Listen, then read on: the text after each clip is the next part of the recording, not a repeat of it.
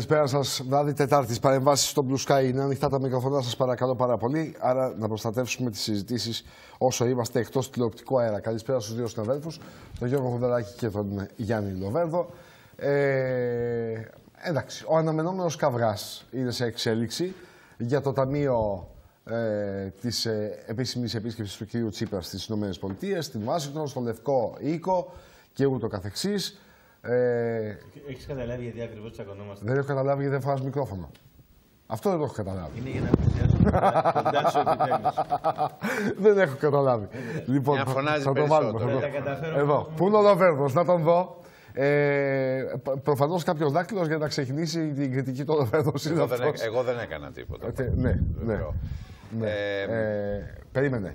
Σε έχουμε κύριε Γιώργο, με συγχωρείτε πολύ. Λοιπόν, εγώ έλεγα αν έχεις καταλάβει ναι. γιατί τσακωνόμαστε. Κοίταξε να δεις, γιατί θέλουμε την αναβάθμιση των F16, να γνωρίζουμε από ό,τι καταλαβαίνουμε. Ή, ή τέλος πάντων ε, οι περισσότεροι; Το, το πιο σκληρό σχόλιο που έκανε ο Κουτσούμπας, ο κύριος Κουτσούμπας. Μα... Ο Γενικός Γραμματέας της Κεντρικής Επιτροπής του Κομμουνιστικού Κόμματος Ελλάδος. Ή μίλησε για ε, Τσιφτετέλη ή Χωριεντάλ του κυρίου Τσίπρα ε, μπροστά Κοίτα, στον κύριο Για να τα ξεκαθαρίσουμε. Σε ό,τι ναι. αφορά το σχόλιο του σύντροφου Δημήτρη ναι. και παλαιού συνάδελφου μου, ναι. ε, θέλω, ε, στον ίδια εφημερίδα εννοώ, ναι. θέλω να πω ότι είναι κατά τη γνώμη μου έστω και αν έχεις μια διαφορά πούμε, στη ρητορική, ναι. πολιτικά αναμενόμενο. Συνεπέ στη γραμμή ακριβώς. του Κομμουνιστικού Δεν μπορεί κανείς να κατηγορήσει το Κομμουνιστικό Κόμμα Ελλάδος ότι. Για αντι... αντιυμπεριαλισμό. Ότι ανακάλυψε εσχάτως, ας πούμε, Μπράβο. τον αντιαμερικανισμό, Μπράβο. τον αντιυμπεριαλισμό, τον, τον Τώρα, αντινατοισμό. Έτσι, δεν... Υπάρχει η εξής δυστοκία. Είμαστε καθαροί σε αυτό; Η μεν. Ναι, βέβαια είμαστε καθαροί. Okay. Βεβαίως, είναι απολύτω συνεπή ο Κουτσούπα προς τη γραμμή του Κομμουνιστικού Κόμματος Ελλάδος.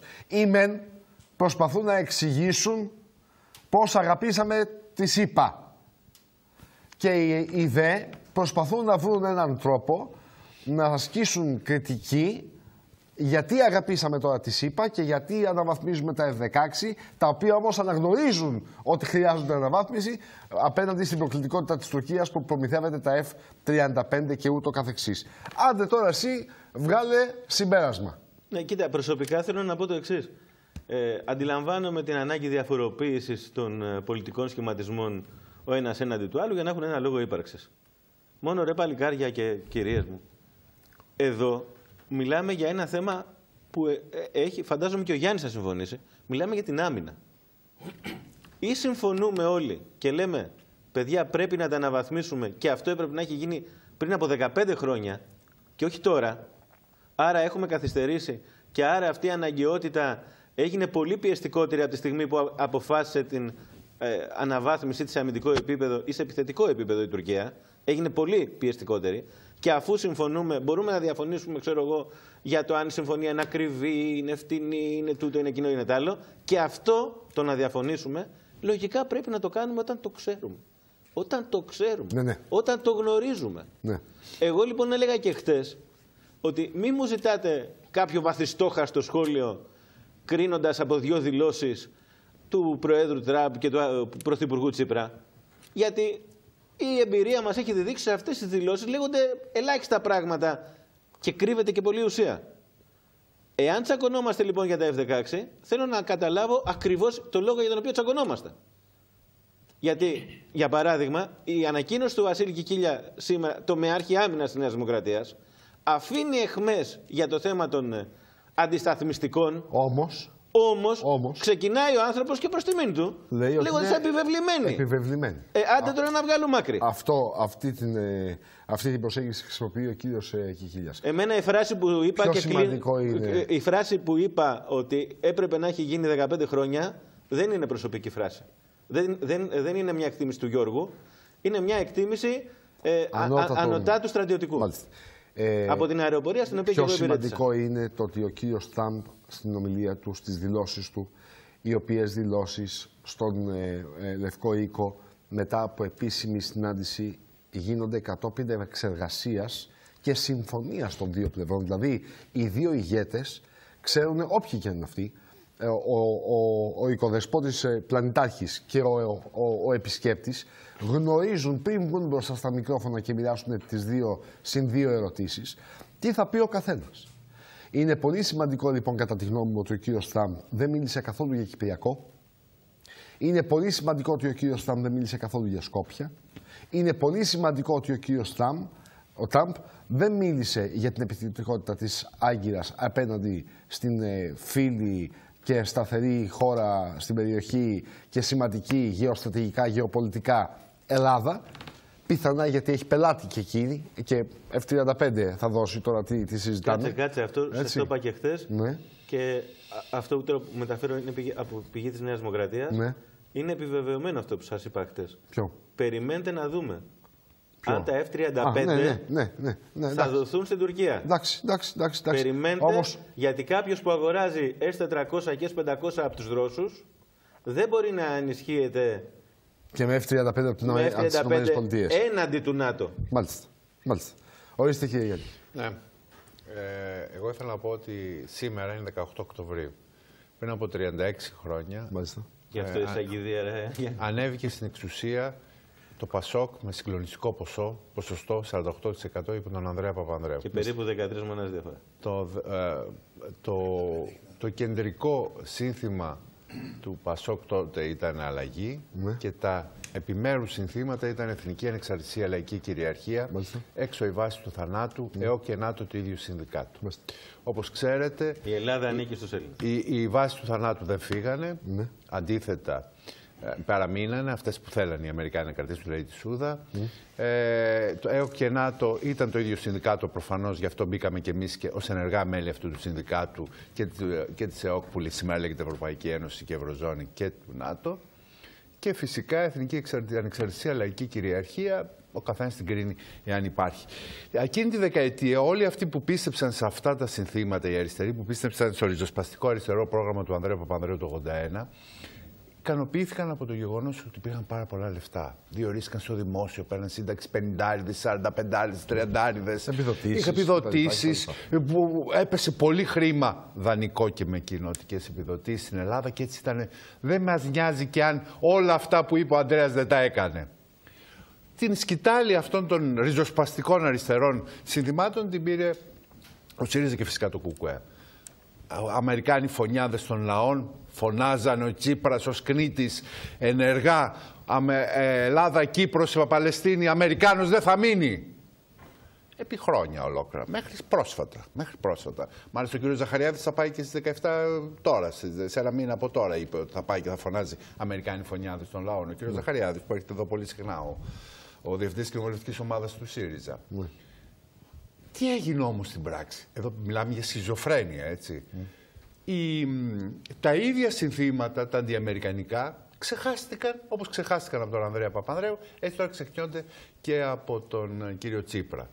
Ε, και ο κύριος Τσίπρας προσπαθεί να, καλοπι- να, να κολλήσει και στους Αμερικανούς όπως κόλλησε και στους Ευρωπαίους. Εκεί που έβριζε όλους τους άλλους για μνημονιακούς, για γερμανοτσολιάδες, για προδότες, για τσολάκογλου. Τώρα έχουμε πάει με όλους αυτούς και ακούμε καλά λόγια. Από τον Σόιμπλε, από τον Ντάισελμπλουμ, μία από τη διαφορά. Λαγκάρντ, από τον Τραμπ, αλλά δεν παίρνουμε και τίποτα. Με μία διαφορά. Με μία διαφορά. Ότι ο Τσίπρας δεν εκφράζει την πάρτη του πια. Ο Τσίπρας δεν εκφράζει ούτε καν 1,4% πια. Ο Τσίπρας εκπροσωπεί τη χώρα. Τα συμφέροντα της χώρας, τις ισορροπίες της χώρας, τη γεωστρατηγική θέση της χώρας, τις, ε, ε, ε, Σωστά, και ο ό,τι, Ανδρέας Παπανδρέου το συνεπάγεται, ίδιο. ό,τι συνεπάγεται Και ο Ανδρέας Παπανδρέου από το τον, ίδιο. από τον θεσμό του εκλεγμένου πρωθυπουργού που εξ- Άρα που- λοιπόν που- η που πολιτική υπηρετεί. του ΣΥΡΙΖΑ για την οποία ψηφίστηκε ήταν λάθος, μου λες. Ποια; Συμφωνώ μαζί σου. Ποια; Συμφωνώ μαζί σου, ήταν Γιατί λάθος τι η είχε πολιτική πει, του τι είχε ΣΥΡΙΖα πει. να φύγουμε, να σκίσουμε τα μνημόνια, να φύγουμε από τους Ναι. κακούς Ευρωπαίους, να τους Μα το πατήσουμε έχει κάτω. πει τώρα αυτό και να έχει τους κρυφτεί. πατήσουμε Έχει κάτω. πάει σε εκλογές με μνημόνιο στο τραπέζι. Μόνο Γιάννη μόνο το Συμφωνώ- υπέγραψε. Συμφωνώ Το μαζί σου, ξέχασε αυτό. Ήταν λάθος η πολιτική προεκλογική του ΣΥΡΙΖΑ. Συμφωνώ. Ναι. Όπου, ε, ε, και α, υπάρχει όμως μια μεγάλη Το έχουν πει διαφορά. πολλοί βουλευτές του ΣΥΡΙΖΑ. Ότι Υπάρχει- υπάρχουν πολλά παιδιά. υπάρχει- Είπαμε πάρα πολλά τώρα. Υπάρχει στο μεγάλη Θεσσαλονίκη. διαφορά όμως ότι ενώ στη δεκαετία του 1981 ο Ανδρέας Παπανδρέου ήταν πάμπλουτος, όχι ο ίδιος προσωπικά. Ναι. Η Ελλάδα είχε μέσω του δανεισμού και των κοινωτικών κονδυλίων πάρα πολύ χρήμα Ρευστό. να μπουκώσει τον κόσμο Ναι. και τον μπούκωσε. Τώρα δεν έχει. Μέσα σε μια νύχτα διπλασίασε τους μισθούς των δημοσίων υπαλλήλων και άνοιξε του στρόφιγγα τον α- αβέρτα διορισμό στο δημόσιο. Ναι, τώρα δεν έχουμε λεφτά. Τώρα Τώρα δεν τελειώσαμε. υπάρχουν. Δεν Τώρα είναι. δεν υπάρχουν. Άρα Τώρα λοιπόν και ο έχουμε κόσμος πολύ εκεί μεγαλύτερη έξω, ανάγκη ο κόσμος εκεί έξω από τις δεν αρκείται στο σχέσεις. καλόπιασμα από τον Τραμπ που δεν έχει και αποτέλεσμα. έτσι, Κάτσε γιατί να δούμε τώρα. Δεν έφερε τίποτα. Ε, Κάτσε, Κάτσε, το να είδαμε. δούμε. Δεν χρειάζεται να Ε, δούμε ε, τίποτα άλλο. Εγώ πώ και να έχει τώρα, δηλαδή θα ήταν καλό άμα του λέγει ο Τραμπ φύγε από εδώ παλιάτσο. Δεν θα το έλεγε, δεν πήγαινε. Δεν, Μη- δεν πα θα- ποτέ θα σε ήταν κάποιον καλύτερα να σε να, μην- βρει. να μην πάει ο Τσίπρας ή να πάει να του πει Δεν σου μιλάω γιατί σε καμπόη φωνιάς. 2,4 δις θα πάρει από τον ελληνικό προπολογισμό. Γιατί να το κάνει; 1,1 λέει ο Χαμένος. Ε, Εντάξει, πιστεύεις στον καμένο; Γιατί να μην Υπάρχει λέξη που λέει ο καμένος και την πιστεύεις; Ναι. Πιστεύεις; Εγώ λέω, ό,τι και αν λέει ο καμένος, νομίζω ότι Μα- ισχύει ακριβώς το αντίθετο Μα από λέει αυτό που λέει. ψέματα ο Καμένος ως προς το, το κονδύλι του προπολογισμού που ε, αφορά στα εξοπλιστικά. Θα το δούμε. Α κρυθεί. το φέρει και θα το δούμε. Θα κρυθεί. Α το φέρει και θα το δούμε. Ε, ε, Πάντως μέχρι στιγμής όλοι διαψεύδονται. Όλα διαψεύδονται. Θα δεις τώρα που θα διαψευστεί το χιλιάρικο σε ένα εκατομμύριο ανέργους. Θα το δεις που θα διαψευστεί και τότε θα γελάμε. Θα γελάμε άσχημα, θα γελάνε όλοι αυτοί που τους κοροϊδεύουν.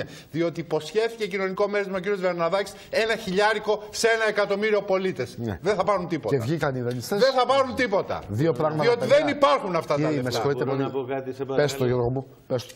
Μια που θυμηθήκαμε ότι 18 Οκτώβρη, έτσι όπως την έλεγε και ο Ανδρέας Μετάφ Παπανδρέου, ε, είναι μια μέρα ιστορική και δείχνει ότι η τότε πρώτη φορά αριστερά έκανε πράγματα τελείως αντίθετα από αυτά που υποστήριζε. Γιατί θέλω να θυμίσω, νομίζω το έχω ξαναπεί και στο τραπέζι, ήμουν 16 χρονών και τα θυμάμαι πάρα πολύ καλά τα συνθήματα. Θυμάμαι και την ομιλία του Χάρη Λαουφλωράκη και την ομιλία του Ανδρέα Παπανδρέου στο Σύνταγμα. Του Παπανδρέου ήταν πιο αριστερή. Βεβαίως, ήταν πολύ ριζοσπαστική η ομιλία του. ε, ήθελα όμως να πω το εξής. Μπορούμε να κάνουμε κριτική και με βάση το 1981 και με το 2015 και κατά τη γνώμη μου νομιμοποιείται ο κάθε, όχι μόνο ο Γιάννης Λοβέρδος εδώ, ο κάθε Λοβέρδος να επικαλείται την πολιτική ασυνέπεια που εμφανίζει ένα κόμμα σαν το ΣΥΡΙΖΑ που ξεκίνησε από ριζοσπαστικό και σήμερα έχει μια αστικού τύπου διαχείριση. Αυτό που είδαμε με τον Τραμπ, ακριβώς αυτό είναι. Δεν έχει τίποτα ριζοσπαστικό. Διαχείριση κάνει τα συμφέροντά μου, τα συμφέροντά σου, πώς μπορούμε να τα βρούμε. Εσύ είσαι ο ισχυρός, εγώ πιο αδύναμος, που να τα βρούμε. Ποιο πακετό που Θέλω- στους πολίτες κτλ. Θέλω όμως να πω το εξής. Γιατί αυτό για πολλοί κόσμο δεν είναι όπως το βλέπει ο Γιάννης, δεν είναι ένα ιδεολόγημα. Έχει να κάνει με τη διαχείριση, αν είναι χρηστή, αν είναι ξέρω εγώ, λιγότερο καλή, αποτελεσματική. Θέλω να πω απλώς ότι ο κόσμος έχει αλλάξει. Όσοι παρακολουθούμε και λίγο τα διεθνή, σήμερα πρέπει να έχουμε πάθει μία πλάκα, για να το πω έτσι, και ιδίως όλοι όσοι έχουμε θεωρητική κατάρταση, κατάρτιση περί ιδεολογιών, με αυτά που λεγόντουσαν στο Κομμουνιστικό Κόμμα της Κίνας σήμερα. Ο Ντόναλτ Τραμπ εξελέγει πρόεδρος στην πρωτεύουσα του καπιταλισμού Ηνωμένες Πολιτείες Αμερικής, μιλώντας για προστατευτισμό της αγοράς, και ο Κινέζος πρόεδρος σήμερα μιλούσε για την ελεύθερη αγορά. Ζούμε σε έναν κόσμο που έχει ριζικώς αλλάξει. Έχει μεταλλαχθεί. Θα σας πω και κάτι που εμένα μου φάνηκε αστείο. Τα τελευταία δύο Ενώ- χρόνια μετά. όχι, όχι, προφανώς και όχι. Ε, Εγώ δεν τις- μιλάω για το εγώ, ΣΥΡΙΖΑ, Γιάννη- δεν μιλάω για την Κίνα. Ε, εγώ- Εσύ μιλάς για την Κίνα. Εγώ, Γιάννη μου, Εγώ μιλάω για το ΣΥΡΙΖΑ. εγώ, όμως. Γιάννη Είναι εδώ, μου- για την Ελλάδα μιλάω. Εγώ, Γιάννη μου, όπως πολύ καλά γνωρίζεις, δεν μπορώ να υποστηρίξω το ΣΥΡΙΖΑ ούτε ιδεολογικά, έτσι, όπως δεν θα μπορούσα να συμφωνήσω και με αυτά που κάνει η Νέα Δημοκρατία.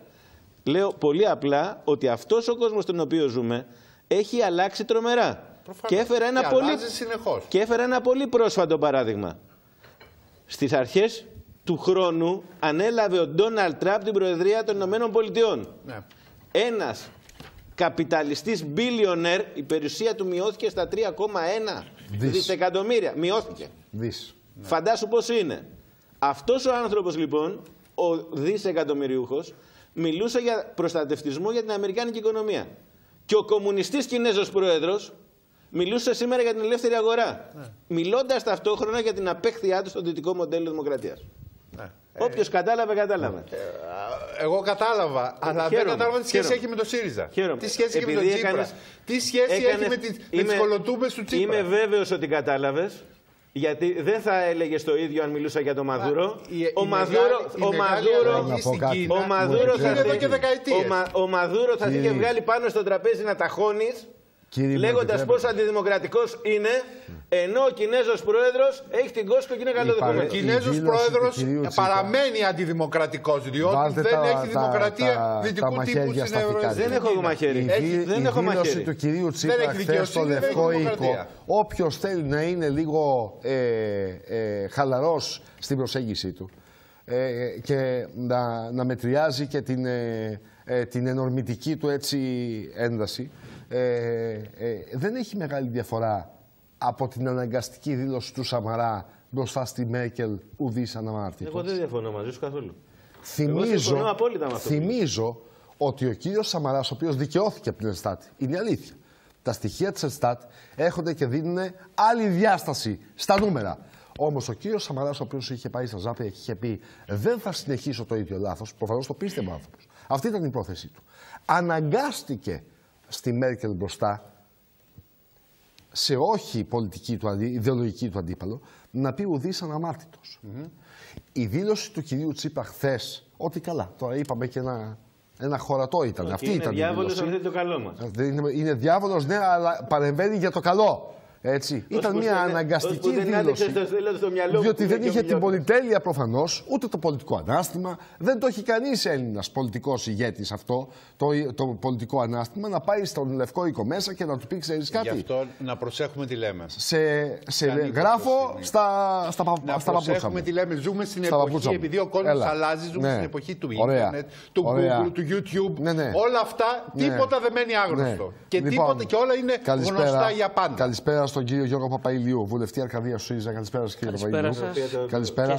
Τον, τον οποίο τον στενοχώρησα εγώ τώρα. Είπατε ριζοσπαστικό αστικό. Τηλεθεατές σας. Ναι, ναι. Ο Αρκάς, τον, τον είδατε σήμερα τον Αρκά που λέει έχει ντυμένο το, τον κύριο Τσεκεβάρα. Και έχει. Ε, Αντάρτη του Ελλάς Ή αντάρτη του Ελλάς τον έχει. Ή αντάρτη του Ελλάς. God save, God bless America. God bless America. Μην τον κατηγορείτε τον Άκη, αυτά τα μπερδεύει.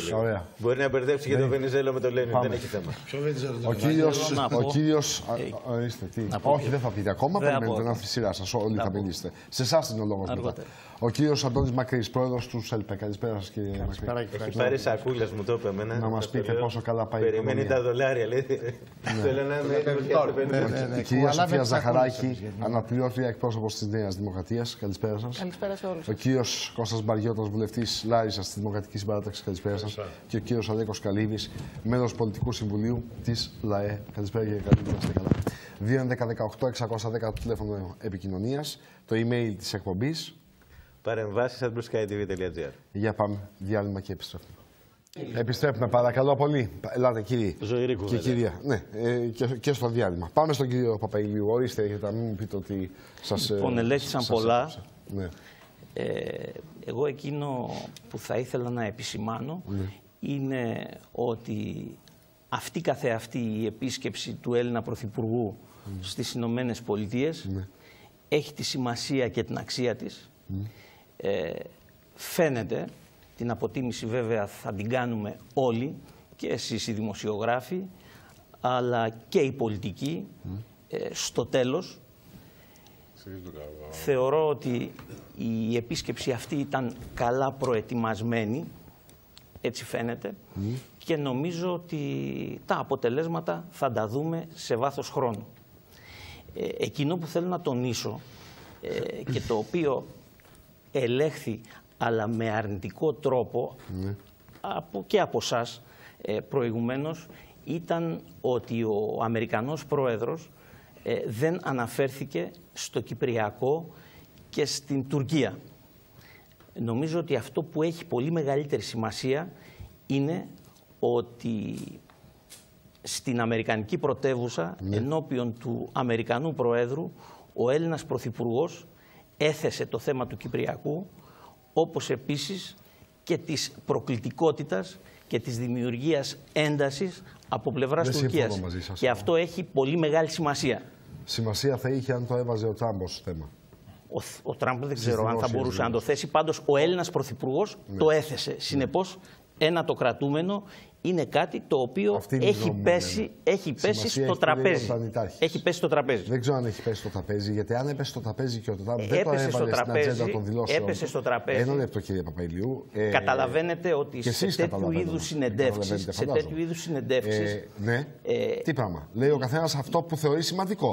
αυτό ακριβώς λέω και εγώ. Οι λόγοι οι οποίοι διατυπώνονται. Ναι. Ε, θα έλεγα ότι είναι πολλές φορές πολύ προσεκτικοί Ειδικά όταν πρόκειται για Θέλω να σας πω με, με όλο το σεβασμό, μιας υπερδύναμης, και, όπως των και ΗΠΑ. οι δύο Το τι ελέγχει που λοιπόν είναι εδώ στην, ε, και ε, στην, εγώ ε, έχω, έχουμε πίσω βρεθεί από- όλοι στο παρασκήνιο, σε αυτό δεν το επίσημη ξέρουμε. επίσκεψη στο Λευκό Οίκο. Ε, ε, είναι απόλυτα προετοιμασμένα όλα. Μέχρι και το τελευταίο και. Συνεπώς, επειδή είμαι βέβαιος ότι ο κύριος Τσίπρας στην κατηδίαν συνάντηση και στη διευρυμένη πιθανότητα με τους υπουργούς έβαλε το θέμα του Κυπριακού, έβαλε το θέμα των Σκοπίων. Δεν θέλω να πιστέψω ότι δεν το έβαλε, γιατί το έβαλε και στις δηλώσεις τους, στις δημόσιες. Το γεγονός Και ότι, έβαλε και το θέμα των ελληνοτουρκικών το σχέσεων και της γεγονός ότι ο παραβίασης. Τραμπ δεν, και της χρ- προκλητικότητας των δεν Τούρκων, έτσι. συμπεριέλαβε τα εθνικά ζητήματα ε, ε, πάνω στα οποία έχει, έχει οικοδομηθεί και η σχέση μας με τις ΗΠΑ στις δηλώσεις του είναι, είναι, είναι φάουλ, είναι, είναι, είναι μειονέκτημα, είναι κακό, είναι λάθος.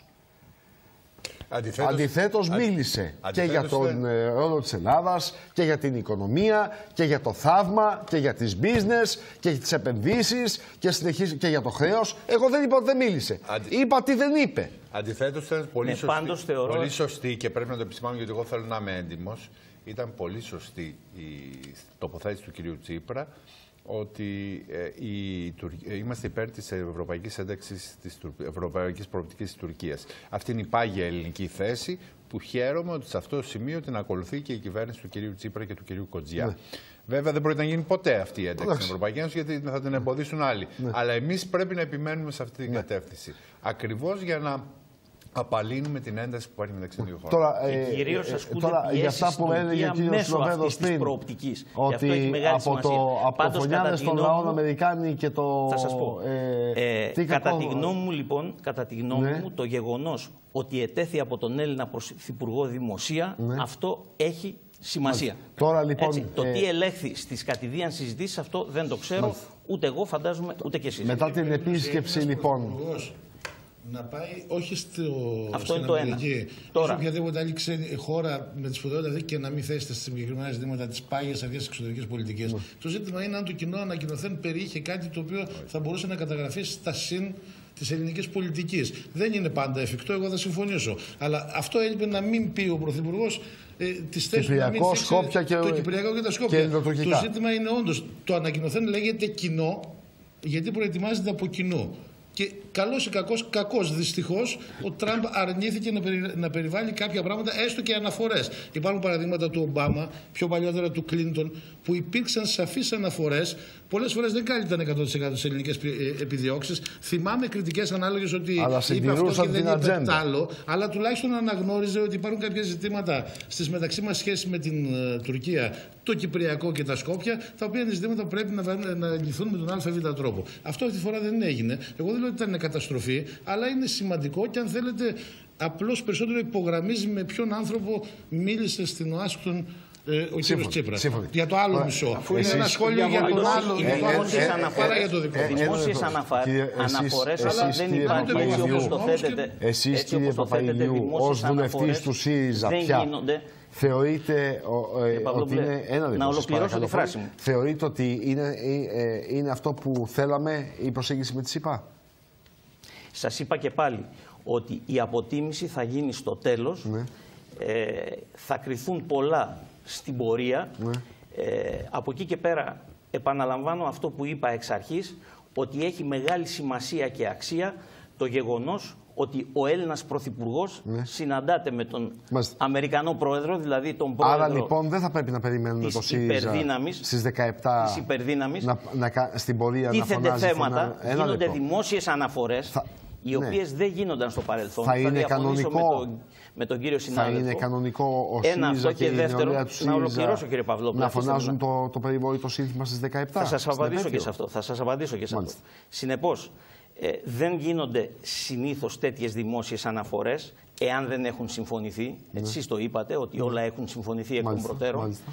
Το γεγονός λοιπόν ότι έγινε αυτή η δημόσια αναφορά Πού; για την τουρκική προκλητικότητα ε, και ότι η Τουρκία, εάν και εφόσον θέλει να γίνει μέλος της Ευρωπαϊκής Ένωσης, θα πρέπει ε, να τηρήσει το διεθνές δίκαιο και τη διεθνή νομιμότητα. Αυτό ελέγχθη από τον Έλληνα Πρωθυπουργό. Αυτή είναι Από τον πα- Τραμπ δεν ελέγχθη, Αυτή είναι βέβαια. πάγια θέση Αυτό της ελέγχθη.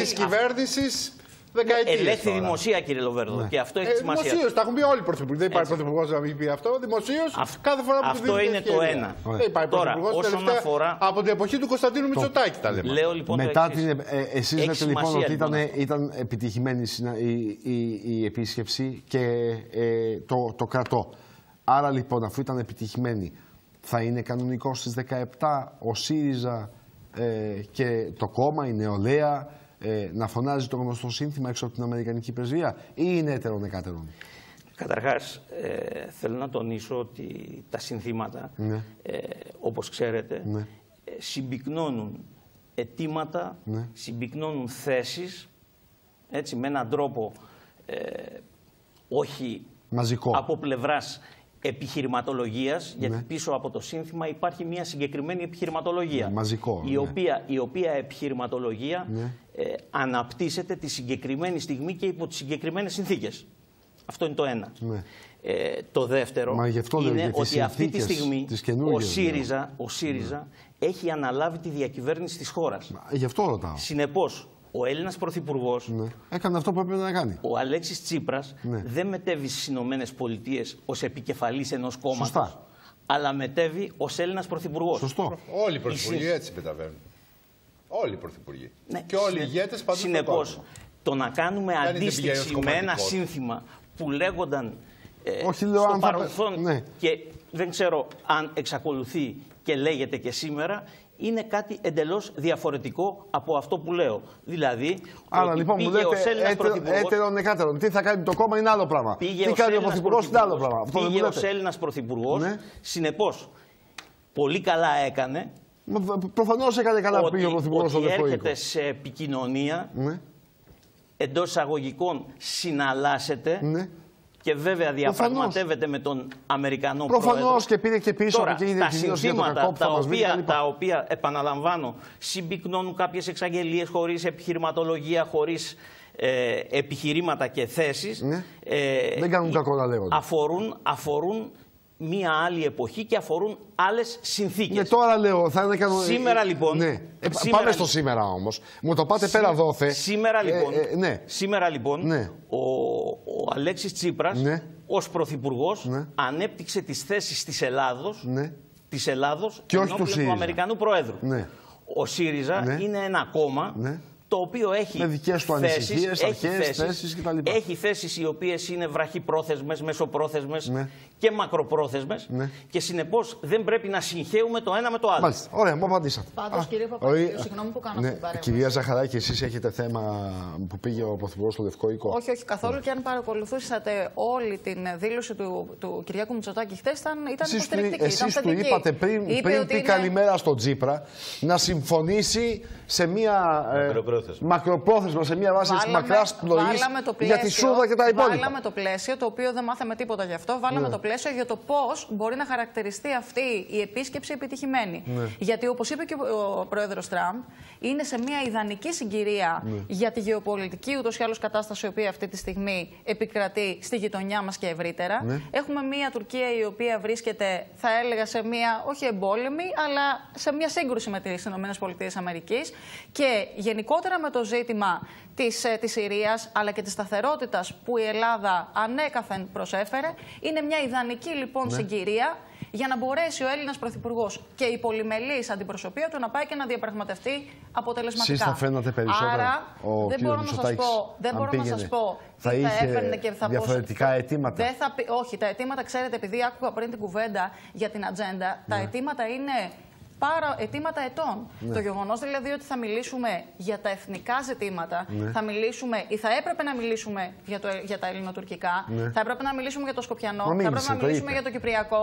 Μα ναι, είπε, αλλά δεν ναι. πήραμε τίποτα συγκεκριμένο. Εσείς ακούσατε κάτι συγκεκριμένο, αυτό δεν ξέρω θα το αν δούμε. Να το πιάσει από το λαιμό και να του πει πες για την- ακούσαμε- πες να για την- ακούσουμε- για να το ακούσουμε Κυπριακό μια και θα σε δήλωση. ξεμαλιάσω. Πώς Αφήστε θα το πει, θέλετε να δηλαδή; τελειώσω τη σκέψη μου και μπορεί να συμφωνήσουμε στο τέλος. Ναι. Και εγώ συμφωνώ ότι πρέπει να κάνουμε το λογαριασμό στο τέλος της επίσκεψης. Και εγώ συμφωνώ ότι ειδικά στα ζητήματα και τα ε, εθνικά. Υπάρχει μια μακρόπνοη πολιτική, την οποία χαίρομαι ότι τουλάχιστον και στο, στο, στο ζήτημα το Κυπριακό ακολουθεί μια σωστή, νομίζω έτσι, γραμμή. Τώρα να πω κάτι. Με συγχωρείτε πάρα πολύ. Θέλετε, Εγώ θα να, περίμενα να, από το κόμμα της αξιωματική αντιπολίτευσης, το οποίο εγκαλεί το ΣΥΡΙΖΑ για την μηδενιστική στάση του όταν ήταν εκείνος στην αντιπολίτευση. Αντί να βάζει πλαίσια και όρους για την επίσκεψη του Έλληνα Πρωθυπουργού στην Ουάσιγκτον, όταν ξέρει ποιο είναι το πλαίσιο και ποιο είναι το πρωτόκολλο και πώς γίνονται αυτές οι συναντήσεις ε, με τον πλανητάρχη, να μην, να μην ε, ε, επιχειρεί να βάλει πύχη. Να, ο ε, υπάρχει, να, γιατί αν δεν να στηρίζει αυτή την επίσκεψη, διότι πολύ απλά ξέρει και ο κύριος Μητσοτάκης και το ξέρει πολύ καλά, ό,τι θέλει θα πει ο Πλανητάρχης. Ωραία. Ό,τι θέλεις να Πάντως, να πω κάτι. Δεν υπάρχει περίπτωση. τώρα. Να πας να του πεις, ξέρεις κάτι. Πες, αν δεν υπήρχε. Ρίξε και ένα δεκάρικο για το Κυπριακό για να μου κάνεις τη χάρη. Δεν υπάρχει περίπτωση. Αφήστε με λίγο, υπάρχει, να τελειώσω μία πρόταση. Υπάρχει περίπτωση να πάει να του πει θα σου πάρω το περουκίνι άμα δεν πει για το Κυπριακό. Δεν υπάρχει περίπτωση. Όχι. Εκτός αν ισχυρίζεστε ότι ο κύριος Μισοτάκη θα έμπαινε στο Λευκό Οίκο και θα του λέγε Άκουσε να σου πω. Για να πάρω εγώ τα F16 τη συμφωνία για τα F16, θα βγεις έξω τώρα και θα πεις Κουρέψτε το ελληνικό χρέος ένα. Ε, λύστε το Κυπριακό ε, δύο. Ε, ε, τα Σκόπια. Είπε, είπε, υπεύθυνη, είπε, υπεύθυνη ρύθμιση του χρέους. Και τι σημαίνει αυτό; Εγώ δεν μπορώ να το μεταφράσω. Ούτε εγώ μπορώ. Απλά θέλω να σας πω το εξή. Όπως σας ακούω πάντα με σεβασμό και μου αρέσει πολύ ο τρόπος που επιχειρηματολογείτε. Εδώ η Νέα Δημοκρατία, και το λέω έτσι, πώς το λένε, ε, εντελώς ε, ε, αποκάλυπτα, έχει πετύχει μια πολιτική νίκη δεν έχει πετύχει μια κομματική νίκη. Η πολιτική που εφαρμόζεται είναι η πολιτική που υποστηρίζεται. Απλά αν, πράγματα. Αν είναι. εφαρμοζόταν, συγγνώμη, δεν έχετε, δεν έχετε δίκιο σε αυτό και σπανίως νομίζω διαφωνώ με εσά, ξέρετε. Αλλά ίσως είναι, είναι μία από τις πρώτες φορές. Δεν είναι πολιτική νίκη. Γιατί πολιτική νίκη, αν μιλήσουμε για τα δικά μας πράγματα, θέλετε να μιλήσουμε για την οικονομία. Όχι, όχι μιλάω για το συγκεκριμένο. να μιλήσουμε θέμα. για το συγκεκριμένο. Όχι, για το, το συγκεκριμένο, συγκεκριμένο λοιπόν, εγώ δεν μπορώ να το, να το ακόμα να ανακηρύξω ούτε νίκη, αλλά ούτε και ήττα. Όμως από την άλλη, μπορώ να Αν είναι καλή, καλή κακή επίσκεψη και συμφωνία, θα το δούμε στο τέλος.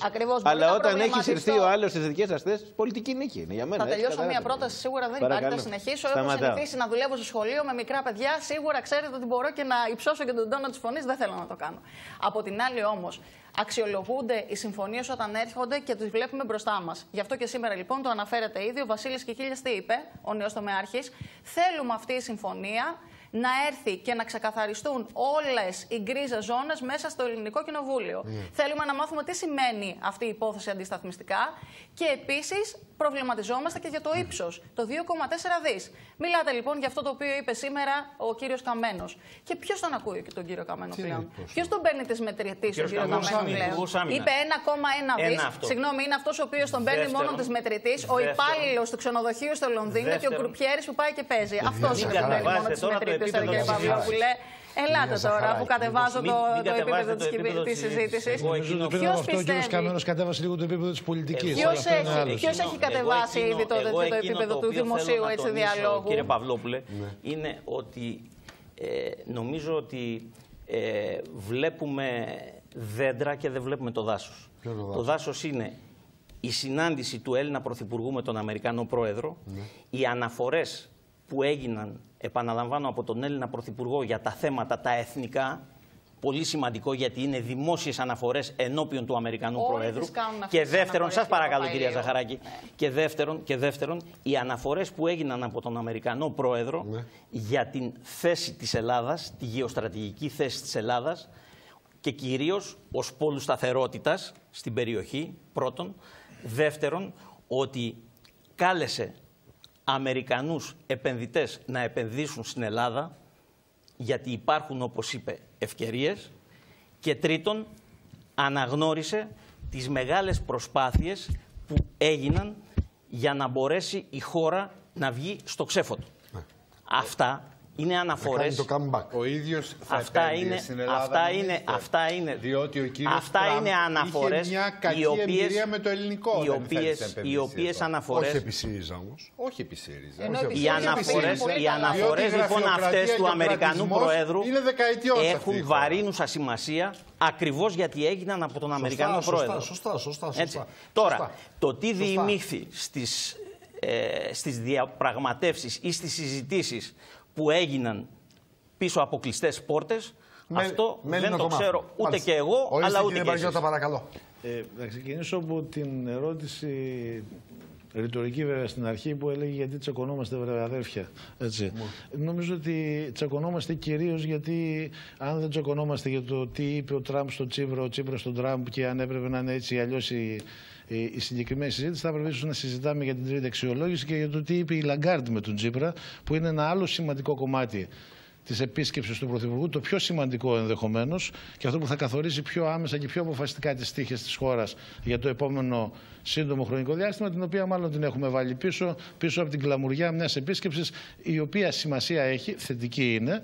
Ανά πάσα στιγμή η επίσκεψη του Έλληνα Πρωθυπουργού σε αυτό το επίπεδο, σε μια, στην πιο ισχυρή χώρα του πλανήτη και την πιο ισχυρή διπλωματία, είναι ένα θετικό γεγονός έτσι κι αλλιώς, είτε είναι ο Σιμίτης, είτε είναι ο Μητσοτάκης, είτε είναι ο Τσίπρας και φεύγει από το κομματικό η παραδοχή αυτή. Νομίζω ότι η, ακ- τα, τα αποτελέσματα μιας τέτοιας επίσκεψης εκ των πραγμάτων διαχρονικά δεν ήταν τίποτα σοβαρό και τίποτα άμεσο. Σε καμιά κυβερ... ε, ε, επίσκεψη που η πρωθυπουργού της χώρας δεν αποκομίσαμε καμιά φοβερή νίκη και δεν νομίζω και κανένας άλλος πρωθυπουργός από καμιά άλλη χώρα δεν έχει αποκομίσει καμιά τρομερή νίκη. Είναι διπλωματία, είναι επισκέψεις. Ο πρωθυπουργός ξαναπήγε, θυμίζω στην Αμερική και ήταν σημαντικότερο κατά την άποψή μου την ταπεινή πρόεδρο, τον πρόεδρο, τον προηγούμενο, χωρίς ιδιαίτερες τυμπανοκρουσίες. Θετικό ήταν και εκείνο.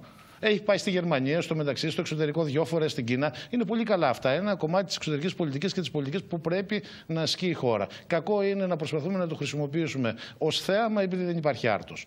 Και αυτό που κάνουμε σήμερα είναι μια και δεν έχουμε άρτο, έτσι, χρησιμοποιούμε το θέαμα. Παλιά τακτική, οι Ρωμαίοι ήταν λίγο πιο πονηροί, μοιρα- μοιράζανε κανένα καρβέλι ψωμί, κανένα χιλιάρικο ε, όταν μπορούσαν. Αλλά, εν πάση περιπτώσει, Τώρα το αυτή είναι η μοιράζουν στα ουσία. λόγια, κύριε Έτσι, Βερναδάκη, είναι, το μιλάει- το πει- είναι, μοιράζει στα σανός, λόγια. είναι σανός που θα λέει ο Κύριε κ. Βενιζέλος. Κύριε Η Μπαριώτα, συζήτηση σε αυτό πολλές το πλευρές. επίπεδο. Η έτσι. Σύγκλιτος δεν επέβαλε ποτέ μνημόνιο στον Κέσσαρα.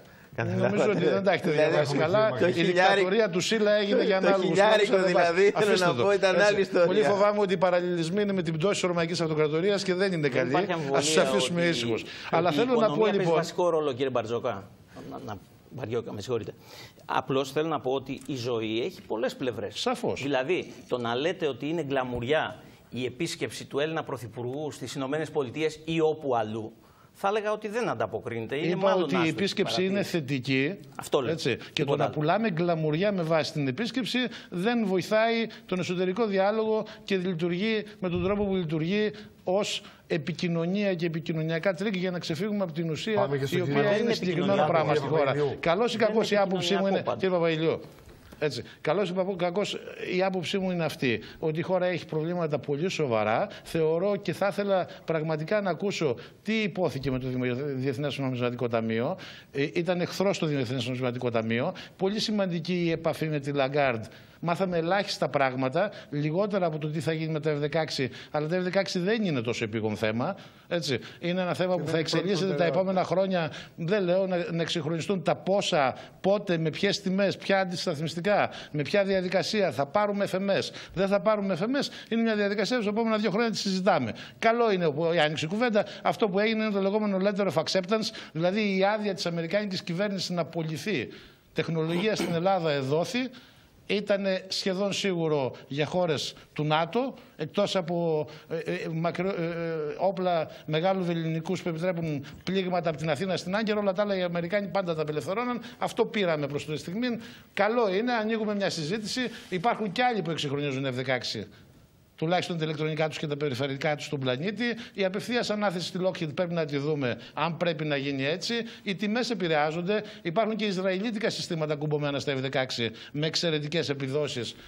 Θα, θα σας πούνε κάποιοι που ξέρουν πολύ περισσότερα από μένα για την άμυνα. Δεν είναι τόσο απλό το θέμα. Θα το δούμε στις επόμενες μέρες. Δεν νομίζω ότι το, είναι το μεγάλο θέμα αυτό, το α, τι έγινε με τα F-16. Από εκεί και πέρα, διπλωματικά δεν έχουμε, όπως είπε πολλές φορές ο κ. Παπαδόπουλο, δεν πήραμε τίποτα χειροπιαστό, έστω και σε επίπεδο ε, ε, δηλώσεων. Δεν ήταν, ήταν μάλλον δεδομένο ότι δεν θα πάρουμε. Κάναμε, ανοίξαμε μια ιστορία με τη Σούδα. Θέλω να είμαι πάρα πολύ προσεκτικός.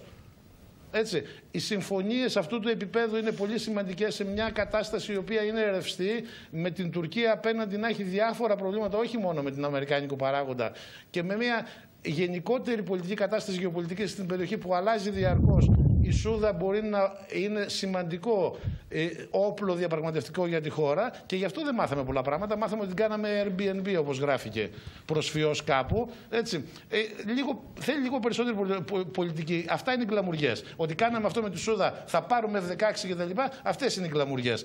Το ότι ανοίγουν τα θέματα και συζητιόνται είναι θετικό. Πρέπει να μάθουμε όμως περισσότερες λεπτομέρειες. Είναι εθνικά θέματα πολύ σημαντικά για να τα συζητάμε.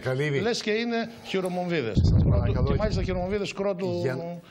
Λάμψης. Κύριε Καλύβη, για να μην έχετε δύο λεπτά στην διάθεσή σας, 1,5, επιτρέψτε μου να πάω σε διάλειμμα και γυρίζω σε εσάς και τον κύριο Μακρύ για να πάμε την, τη συζήτηση στην οικονομία, στην καθημερινότητα, στις επιχειρήσεις, την ανάπτυξη ή τη μη ανάπτυξη.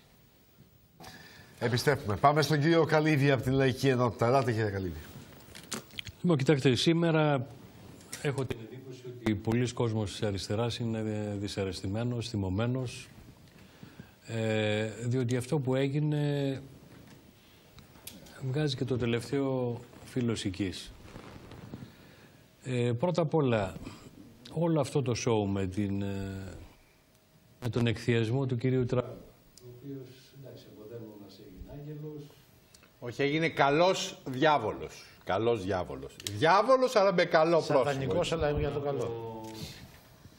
Έχει σημασία γιατί ε, είναι από τους πρώτους ηγέτες που πηγαίνουν στην Αμερική μετά την εκλογή του Τραμπ.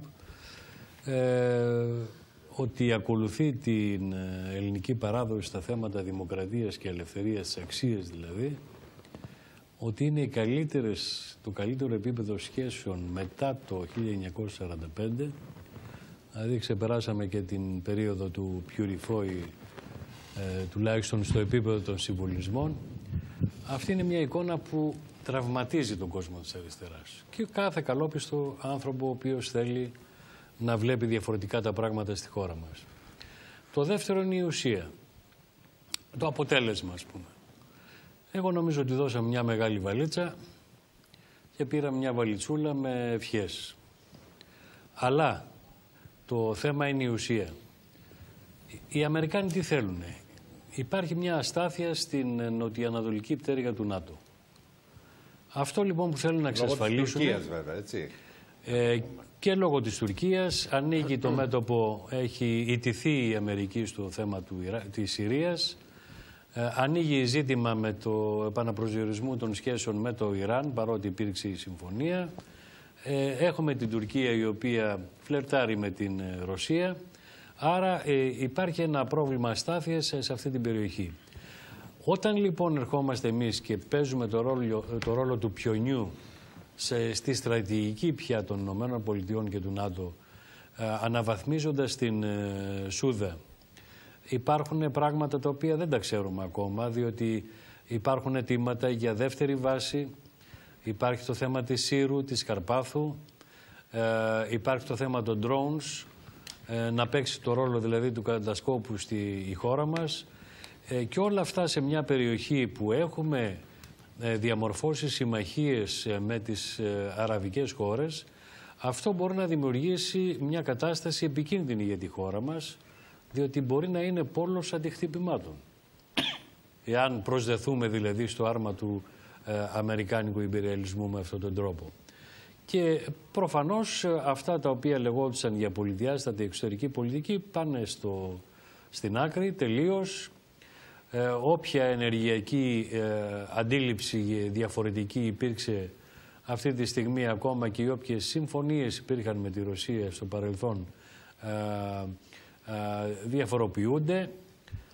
Στην ουσία δηλαδή ο Αμερικάνικος παράγοντας γίνεται ο κυρίαρχος στην περιοχή ακόμα και όταν Ξέρουμε ότι οι δυτικές χώρες, όπως η Γερμανία ή η άλλες μεγάλες χώρες ε, συμφωνούν με τη Ρωσία για νέους αγωγούς και ούτω καθεξής. Άρα νομίζω ότι εμπλεκόμαστε, αυτό είναι το βασικό στοιχείο.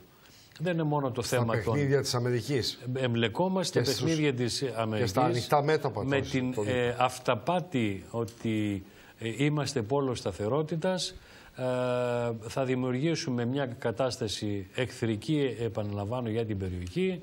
Κέρδισε κάτι ο κύριος Τσίπρας από αυτή την επίσκεψη, νομίζετε, ή απλώς ήταν για τα Κοιτάξτε, μάτια του εγώ κόσμου, όπως νομίζω- είπε ο κύριος ε, Βαριώτας, εγώ νομίζω- απλώς για να δημιουργήσουν μια, μια προπαγανδιστική εντύπωση ότι γίνεται αποδεκτός Εμένα δεν με παγκοσμίως. ενδιαφέρει, κύριε Λοβέρδο, δεν με ενδιαφέρει αν ε, ε, σταθεροποιεί το κύριος Τσίπρας με τις ευχές του κύριου Τραμπ στην εξουσία. Αυτό είναι για μένα, για Αλλά μένα αυτό και για ο τον ελληνικός ελληνικό λαός θα το λαό κρίνει δεν, όταν γίνουν δεν εκλογές. έχει αξία. Αυτό το οποίο βλέπω είναι ότι γίνονται ακόμα ε, περισσότερα βήματα σε μια δεξιά πολιτική και γι' αυτό υπάρχει και αμηχανία από τη Νέα Δημοκρατία. Δηλαδή ο κύριος Τσίπρας ε, παίρνει την μπουκιά από το στόμα του κυρίου Μητσοτάκη, ο κύριος Μητσοτάκης είναι αμήχανος, δεν ξέρει τι να πει, αλλά όλα αυτά γίνονται στο πεδίο ε, του νεοφιλελευθερισμού και της συντηρητικής πολιτικής. Δηλαδή ό,τι υπήρχε, ε, π- ε, όποιο ζήτημα υπήρχε και δεν μπορούσε με ευκολία να το περάσει η Νέα Δημοκρατία, είτε στο επίπεδο της οικονομίας, της εργασίας, του ασφαλιστικού κτλ. και των ζητημάτων εξωτερικής πολιτικής, έρχεται ο Αλέξιο Τσίπρας και τα εφαρμόζει όλα. Γι' αυτό έρχομαι και κλείνω με το αρχικό εισαγωγικό που είπα, ότι τουλάχιστον για τον κόσμο της αριστεράς είναι ένα φοβερό πλήγμα και πιστεύω ότι αυτός ο κόσμος ε, πρέπει να επαναξιολογήσει τη στάση του. Χρειάζονται άλλες ιεραρχήσεις, ε, άλλοι Πάντως, οι στόχοι. πολίτες που ξαναψήφισαν την, ε, ε, την κυβέρνηση του, το, το, το- που ξαναψήφισαν τον κύριο Τσίπρα στις δεύτερες εκλογές, μετά το δημοψήφισμα, με το μνημόνιο πάνω στο τραπέζι. Φαντάζεστε ότι είναι εκείνοι που βλέπουν με μισό μάτι ή δυσαρεστήθηκαν που πήγε στο Λευκό Οίκο; Κοιτάξτε, ε, εγώ πιστεύω ότι ένας ε, μεγάλος αριθμός πολιτών Γιατί νομίζω ότι σε αυτή τη Όπως δεξαμενή είναι αυτή, απευθύνεται ο κύριο κοιτάξτε, Τσίπρας. ε, Στην δεξαμενή που του 600.000 έδωσε την πρωτιά άτομα. στις Ακούστε. τελευταίες εκλογές. Ακούστε, 600.000 άτομα έφυγαν από την κάλπη του ΣΥΡΙΖΑ στις τελευταίες εκλογές και ένα πολύ μεγάλο μέρος από αυτούς ήταν στο Λευκό. Πολλοί κόσμος είναι δυσαρεστημένος από την ε, πολιτεία που άσκησε, από την πορεία που άσκησε από τότε μέχρι τώρα, διότι έχουν μεσολαβήσει πάρα πολλά πράγματα. Σωστά.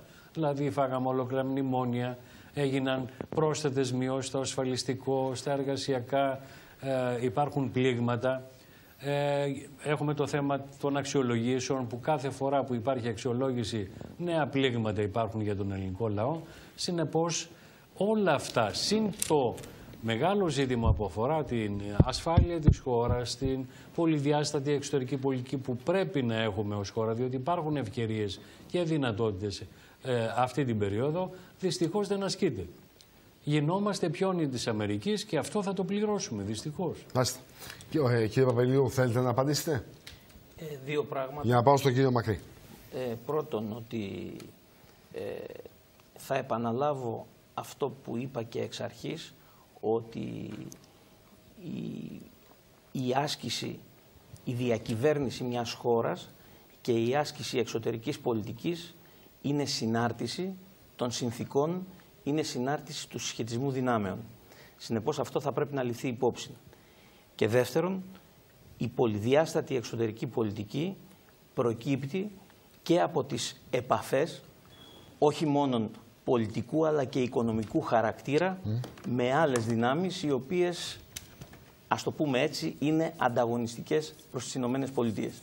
Και, εν πάση περιπτώσει, η Ελλάδα ανήκει στην ε, Ευρωπαϊκή Δύση. Ένωση, Χαίρομαι που το λέτε. ανήκει στην Ευρωπαϊκή Ένωση, ανήκει στην Ευρωπαϊκή Ένωση. Η Ευρώπη είναι ο χώρος στον οποίο παλεύουμε, ούτως ώστε αυτή η Ευρώπη, την οποία σήμερα, ε, ας το πούμε έτσι, η οποία σήμερα έχει ένα συγκεκριμένο προσανατολισμό, θέλουμε να την αλλάξουμε μέσω συμμαχιών, μέσω συνεργασιών. Και αυτό κάνουμε. Μάλιστα. Ωραία. Μια και μιλήσαμε λοιπόν και, ε, ε, και μιλάμε για την ανάπτυξη, για, την, ε, για το comeback της Ελλάδας ε, κτλ, κτλ. Πάμε στον κύριο Μακρύ.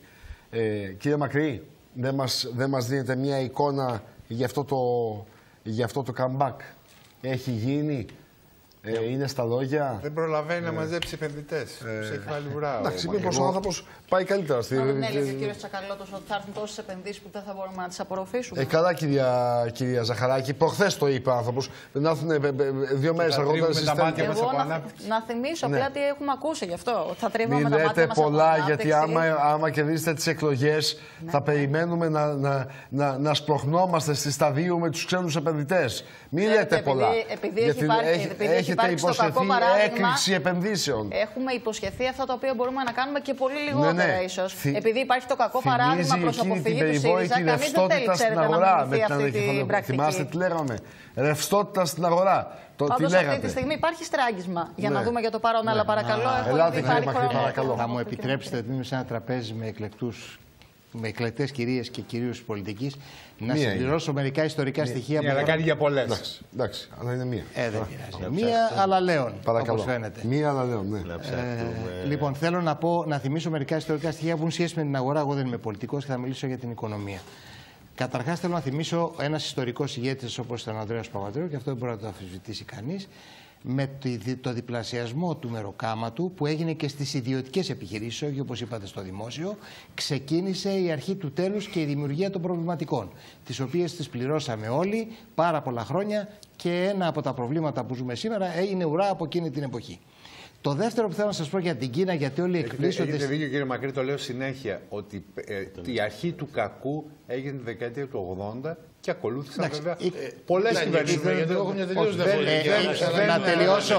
Καλά, Να τελειώσω. Εγώ θα πω ότι Προφανώς οι θα κάνει. προβληματικές- Εγώ- Οι προβληματικές ήταν Να αποτέλεσμα τελειώσω. τη συμφωνίας του Να Κωνσταντίνου τελειώσω. Καραμαλής. Είπα ένα από τα στοιχεία. Κανένας προστατευτισμός μέσα σε μια νύχτα κατέρευσαν οι Αν μου προστατευτισμοί και επιτρέπετε, κατέρευσε η εγώ δεν είμαι βιομηχανία. πολιτικός Αλλά και, μια και κουβέντα δεν για το έρχομαι σε 80 αντιπαράθεση με, με, και ξέρω αν σέβομαι έχει την νόημα. ιδιότητά σας. Εγώ θέλω να πω οικονομικά πώ εμείς το διαβάζουμε. Εσεί το διαβάζετε πολιτικά, εγώ το διαβάζω οικονομικά. Δεν χαρακτηρίζω, απλώς παραθέτω. Το δεύτερο που θέλω να πω, γιατί όλοι προβληματίζονται για την Κίνα, θα σας μεταφέρω μια προσωπική μου ιστορία. Το 90 πρώτο πήγα στην Κίνα και πήγα να φέρω προϊόντα. Ε, ήταν λίγο μετά την πλατεία Τιέναμέν. Όταν λοιπόν συζήταγες, πηγαίναμε σε εργοστάσια που ήταν κομμούνες τα εργοστάσια, ο διευθυντής και ο επιδιευθυντής του εργοστασίου είχε Mercedes 500 και Mercedes 300. Τρώγαμε στις μεγάλες αίθουσες που ήταν εκεί με τα στρογγυλά τραπέζια με τους εργάτες και όταν συζητάγαμε και λέγαμε κάτι έγινε, γυρί, δύο απαντήσεις θυμάμαι. Μας είπανε για λεφτά, μάνι μπορείτε να μας μιλήσετε το 90. Το δεύτερο που μας ρωτήσαν λέει: Εμείς βλέπετε τι κάνουμε, έχουμε τα εργοστάσια, χτίζανε και χιλιάδες εργοστάσια όπως είδα πέρασε όλη την καντόνα διαγώνια. Ε, γυρίσαν και είπαν: Εσείς τι παράγετε; Εγώ εκεί γύρισα και τους λέω: Τουρισμό και ναυτιλία. Και γελάγαν οι Κινέζοι. Και λέει: Τουρισμός και ναυτιλία δεν είναι παραγωγική διαδικασία. Και είπα: Δυστυχώς αυτά έχουμε. Και να πω και ένα άλλο ιστορικό στοιχείο: 90 Τι Ελβιέλες. κύριε Ορίστε. Το 90. Το 90. Ναι, που Το- υπήρχαν και 12 έτσι. τεχνίες. Ε, το, ε, να πω κάτι για εμάς τους παλαιότερους. Οι ελβιέλες που φοράγαμε, τα παπούτσα ελβιέλα που δεν έχουμε σήμερα που είναι οι επώνυμες εταιρείες, παρήγονται από Έλληνα που είχε κάνει την πρώτη παραγωγική μονάδα στην Κίνα και ερχόντουσαν από εκεί. Άρα είμαστε πρωτοπόροι και μην απορούμε σήμερα πώ έχει εξελιχθεί η Κίνα, γιατί η ιστορία έχει ξεκινήσει από πολύ παλαιότερα. Το δεύτερο που θέλω να πω έχει να κάνει με αυτό που είπανε. Ε, θεωρώ ότι ο Αμερικανός αξιωματούχος, ο πρόεδρος της Αμερικής, μίλησε ως επιχειρηματίας. Ή το εμείς που ε, μιλάμε επιχειρηματικά, τον ακούσαμε να μιλάει επιχειρηματικά. Ο άνθρωπος κάλεσε τον Έλληνα Πρωθυπουργό που εκπροσωπεί την Ελλάδα, είναι ο Πρωθυπουργός μας, και πρέπει να σεβόμαστε τη θέση που εκπροσωπεί ο καθένας. Αισθάνομαι ότι τα κόμματα σωστά που, έ- που είχαν και μπορεί να έχουν εξουσία με πολύ πολύ συγκρατημένα και με πολύ σεβασμό αντιμετωπίσαν σωστά την επισκεψή. Όταν είσαι να κάνεις με τόσο μεγάλη δύναμη που είναι πρωτοκλασάτη και είναι η ηγέτιδα δύναμης του, του, του κόσμου, πρέπει να κρατάς μικρό καλάθι. Αλλά πρέπει να σας πω ότι επιχειρηματικά, όταν καλείται κάποιος στην χώρα σε τόσο υψηλό επίπεδο, οι συμφωνίες έχουν προπάρξει. Όχι μόνο στο λεκτικό και στο ουσιαστικό. Άρα όλα αυτά τα πράγματα προπήρξαν. Άλλωστε, σας θυμίζω και δύο γεγονότα που μπορεί να μην έπεσαν στην αντίληψή σας και είναι καθαρά οικονομικά. Δύο πράγματα τον τελευταίο καιρό ζητήσαν οι φίλοι μας από την Αμερική και τα πήρανε. Την ανακεφαλαιοποίηση των τραπεζών να πάει στα 6 δις από τα 26 που συζητάγαμε και να μπουν μέσα αμερικάνικα funds και λειτουργούν σωστά και έγινε με ό,τι αυτό σήμαινε για το ελληνικό δημόσιο και την κτήση. Και το δεύτερο ήταν η εθνική ασφαλιστική που πέρασε σε αμερικάνικα χέρια, πάλι σωστά και θα δούμε πώς θα εξελιχθεί βέβαια, διότι και αυτό ήταν έτοιμα. Άρα μην απορούμε πώς το αποτελεσματικότητα στις συζητήσεις έχει να κάνει με το ένας λέει και άλλος κάνει. Διότι αυτό είναι και διαχρονικό και παρόν και τον τελευταίο Τώρα, καιρό. εγώ σας ρώτησα εάν ε, Έρχομαι στην αγορά. βρισκόμαστε σε Έρχομαι στην τροχιά αγορά. απογείωσης Έρχομαι ή στην αγορά. βρισκόμαστε ε, σε μια ε, αυταπάτη. Συγγνώμη για το- μετά, το άνοιγμα, Μετά αλλά- και από τα στοιχεία της Ελστάτ. Ακούστε. Εμείς τα στοιχεία της Ερστά τα ξέρουμε προκαταβολικά γιατί βλέπουμε τα ταμεία μας. Τα ταμεία των επιχειρήσεων, κυρίως των μεγάλων που έχω εγώ την τιμή να εκπροσωπώ, είναι η είναι απεικόνηση του καρδιογραφήματος της ψυχολογίας του καταναλωτή. Άρα, εμείς ξέρουμε την ψυχολογία του καταναλωτή. Αν λοιπόν βάλουμε στο τραπέζι το 70% των, ε, του ΑΕΠ χτίζεται από την κατανάλωση, δηλαδή από τη λιανική, βλέποντας τα στοιχεία των ταμείων, καταλαβαίνουμε και προς τα πού θα πάει το ΑΕΠ. Όπως και θέλω να σας πω για τώρα, γιατί τα ιστορικά στοιχεία τα, απε- τα απεικόνισε η Ελστάτ. Εμείς το λέγαμε και από την εκπομπή το Economy που έχετε εσείς, το είχαμε πει και τότε, ότι η οικονομία είναι σε ύφεση και όχι σε μηδενικό, σε μηδενικό στοιχείο, ε, αλλά ήταν σε ύφεση. Το βλέπαμε εμείς από τα ταμεία. Μπορώ να σας πω για φέτος που έχει πολύ μεγαλύτερη σημασία. Ο Αύγουστος στο τελευταίο διάστημα δεν δούλεψε σωστά. Ο Σεπτέμβρης επίσης δεν δούλεψε σωστά. Ο Οκτώβρης με την καλοκαιρία ξεκίνησε σωστά και μο- με την κακοκαιρία τη αρχές ξεκίνησε σωστά. Η καλοκαιρία έκανε ανάσχεση των αγορών. Άρα δεν πάμε για αύξηση των πωλήσεων που σημαίνει δεν θα συμμετέχει ε, η λιανική, η κατανάλωση τόσο σωστά στο αποτέλεσμα του Ο ΑΕΠ. τουρισμός, Άρα, κύριε Μακρύδη, ότι πολλά ποντάρουν στον τουρισμό για να έχουμε Ακούστε, ανάπτυξη. ο τουρισμός είδαμε στα ταμεία μας πάρα πολύ μεγάλο κομμάτι των τουριστών. Ναι, γιατί έχουν έρθει και στην Θα σας Αθήνα έχουν απαντήσω. έρθει πολλοί. Η Ελλά... τουρίστες. σω- Πολύ σωστά, κύριε Λοβέρδο. Η Ελλάδα έχει φέρει μία οροφή, έχει μία οροφή όσον αφορά την ανάπτυξη της αγοράς. Μην ξεχνάμε ότι η αγορά σε μέσους όρους έπεσε πάνω από 40-45% από την αρχή της κρίσης μέχρι σήμερα. Άρα τώρα οι μικροαναπτύξεις είναι συν πλην κάτι λίγο. Οι τουρίστες λοιπόν είναι η ελπίδα της χώρας να ανεβάσει το σύνολο του τζίρου που γίνεται. Αυτό το βλέπουμε, αλλά δυστυχώς αυτό που επίσης βλέπουμε, με μία παραοικονομία στο 35% και με τάσεις ανάπτυξης, παρόλο την καλή δουλειά που κάνει ε, η ανεξάρτητη αρχή, αυτό δεν αποτιμάται στα στοιχεία. Θα σας πω ένα παράδειγμα. Αν μπορούσαμε να συλλάβουμε ένα αρκετά συμπαθητικό κομμάτι της παραοικονομίας, τότε αμέσως το ΑΕΠ θα ανέβαινε αυτόματα, χωρίς να γίνει τίποτα άλλο, από λεφτά προσέχτε που υπάρχουν στην αγορά. Διότι όταν ο σεβαστός μας καταναλωτής πηγαίνει και αγοράζει ένα τσαντάκι από κάποιον στον δρόμο, η τιμή που έχει εμπεριέχει και το ΦΠΑ. Αν αυτό το ΦΠΑ τον πάρει το κράτος, που δεν θα είναι παραπάνω λεφτά από φόρους, τότε αυτό θα μας ανεβάσει το ΑΕΠ. Η- Το κράτος θα μπορεί να έχει καλύτερη αποτελεσματικότητα και λεφτά να μοιράσεις στους μη έχοντες και τα στοιχεία που, έχουμε, να- που έχουν να κάνουν με το δανεισμό και όλα τα στοιχεία που έρχεται η Τρόικα και μας οριοθετεί τα πράγματα θα ήταν σαφώς βελτιωμένα. Τι θέλω να πω; Ενώ η αγορά δεν δίνει στοιχεία μεγάλης πτώσης και ενώ θεωρητικά η ψυχολογία θα ήταν στο ζενήθ, δυστυχώς η αγορά έχει μια σχετική ισορροπία χωρίς τάσεις ανάπτυξης για να περιμένουμε αποτελέσματα στο τέλος της ανάπτυξης του ΑΕΠ, αλλά η ψυχολογία των συμμετεχόντων στην οικονομία είναι στο ναδύρ. Διότι δεν ξέρεις κάθε μέρα τι σου, ξε- τι σου ξεκινάει, δεν ξέρεις πώς μπορείς να πορευτείς και η ανασφάλεια είναι κάτι το οποίο δεν φαίνεται σε πρώτη ζήτηση, φαίνεται όμως στα αποτελέσματα των επιχειρήσεων.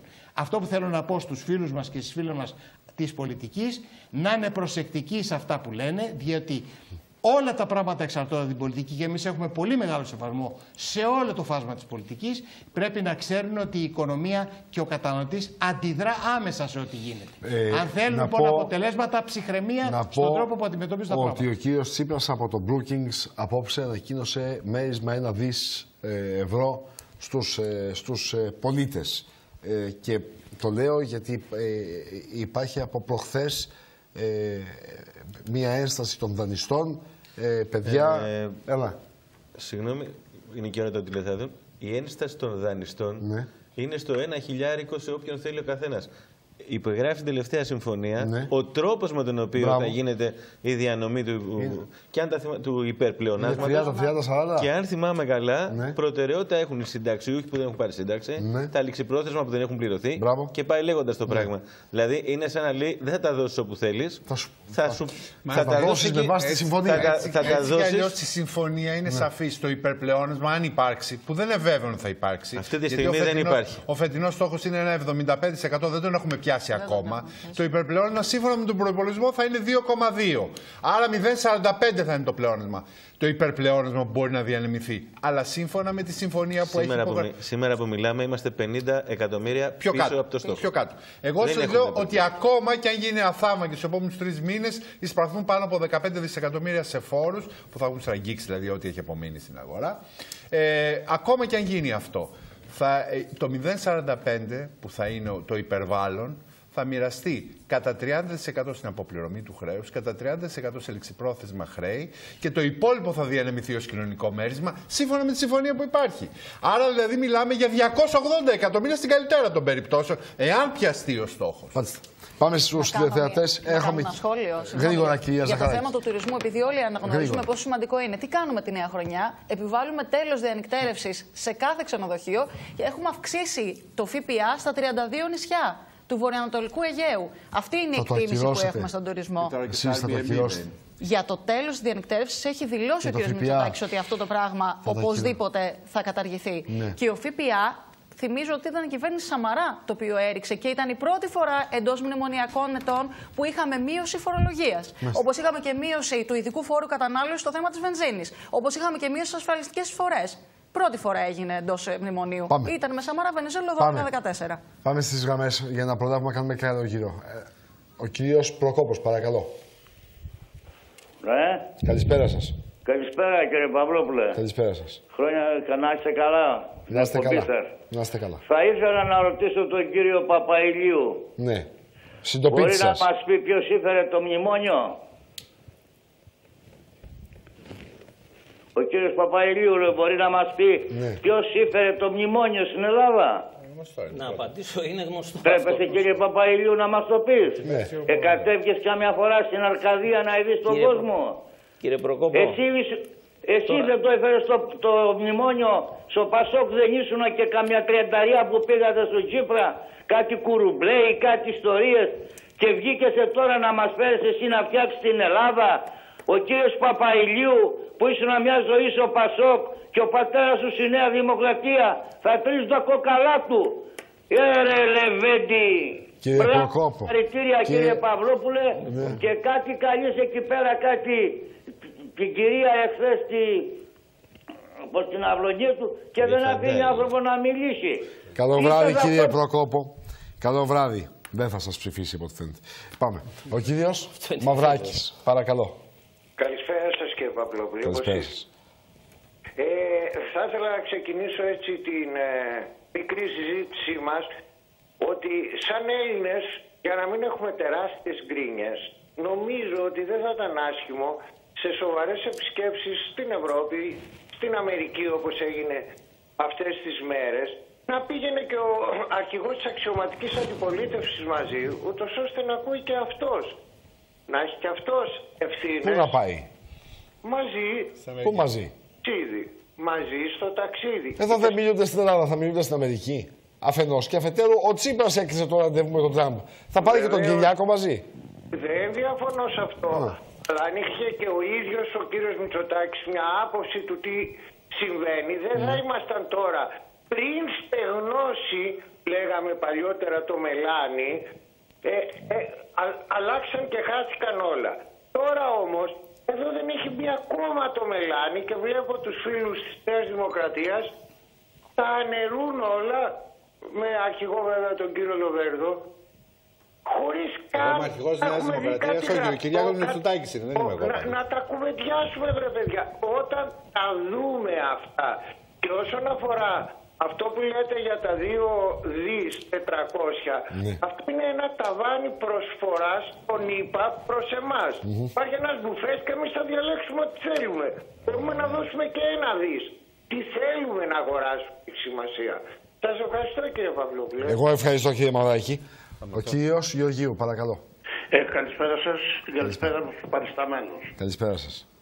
Ε, ήθελα να σας θυμίσω ε, στην ΑΟΣ της Κύπρου όταν προσέγγισαν κάποια αεροπλάνα, από ό,τι ακούσαμε, Ναι. νέχωσαν τα όργανα των αεροπλάνων και αναγκαστικά έφυγαν. Δεν συνέχισαν, εν πάση περιπτώσει, ό,τι ήθελαν να κάνουν. Από ό,τι έχω καταλάβει και από ό,τι έχω ακούσει, την τεχνολογία την έχουν οι Αμερικάνοι αναφορικά με τα αεροπλάνα που, που, που πετάνε με τα όργανα, με δορυφόρους, με οτιδήποτε. Τι θέλω να πω με αυτό. Θέλω να πω ότι αφού έχουν την τεχνολογία, από αυτούς εξαρτάται η άμυνα, η επίδεση, τα πάντα.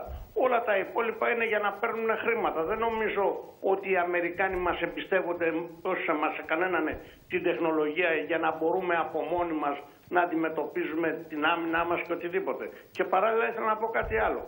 Πήγαν εκεί οι Έλληνες πολιτικοί μας να εξυπηρετήσουν κάτι που ήθελε ο Τραμπ, όχι κάτι που θέλανε οι Έλληνες. Δηλαδή είχε πρόβλημα ο Τραμπ και πήγαμε να λύσουμε το πρόβλημα του Τραμπ που είχε με τους Τούρκους.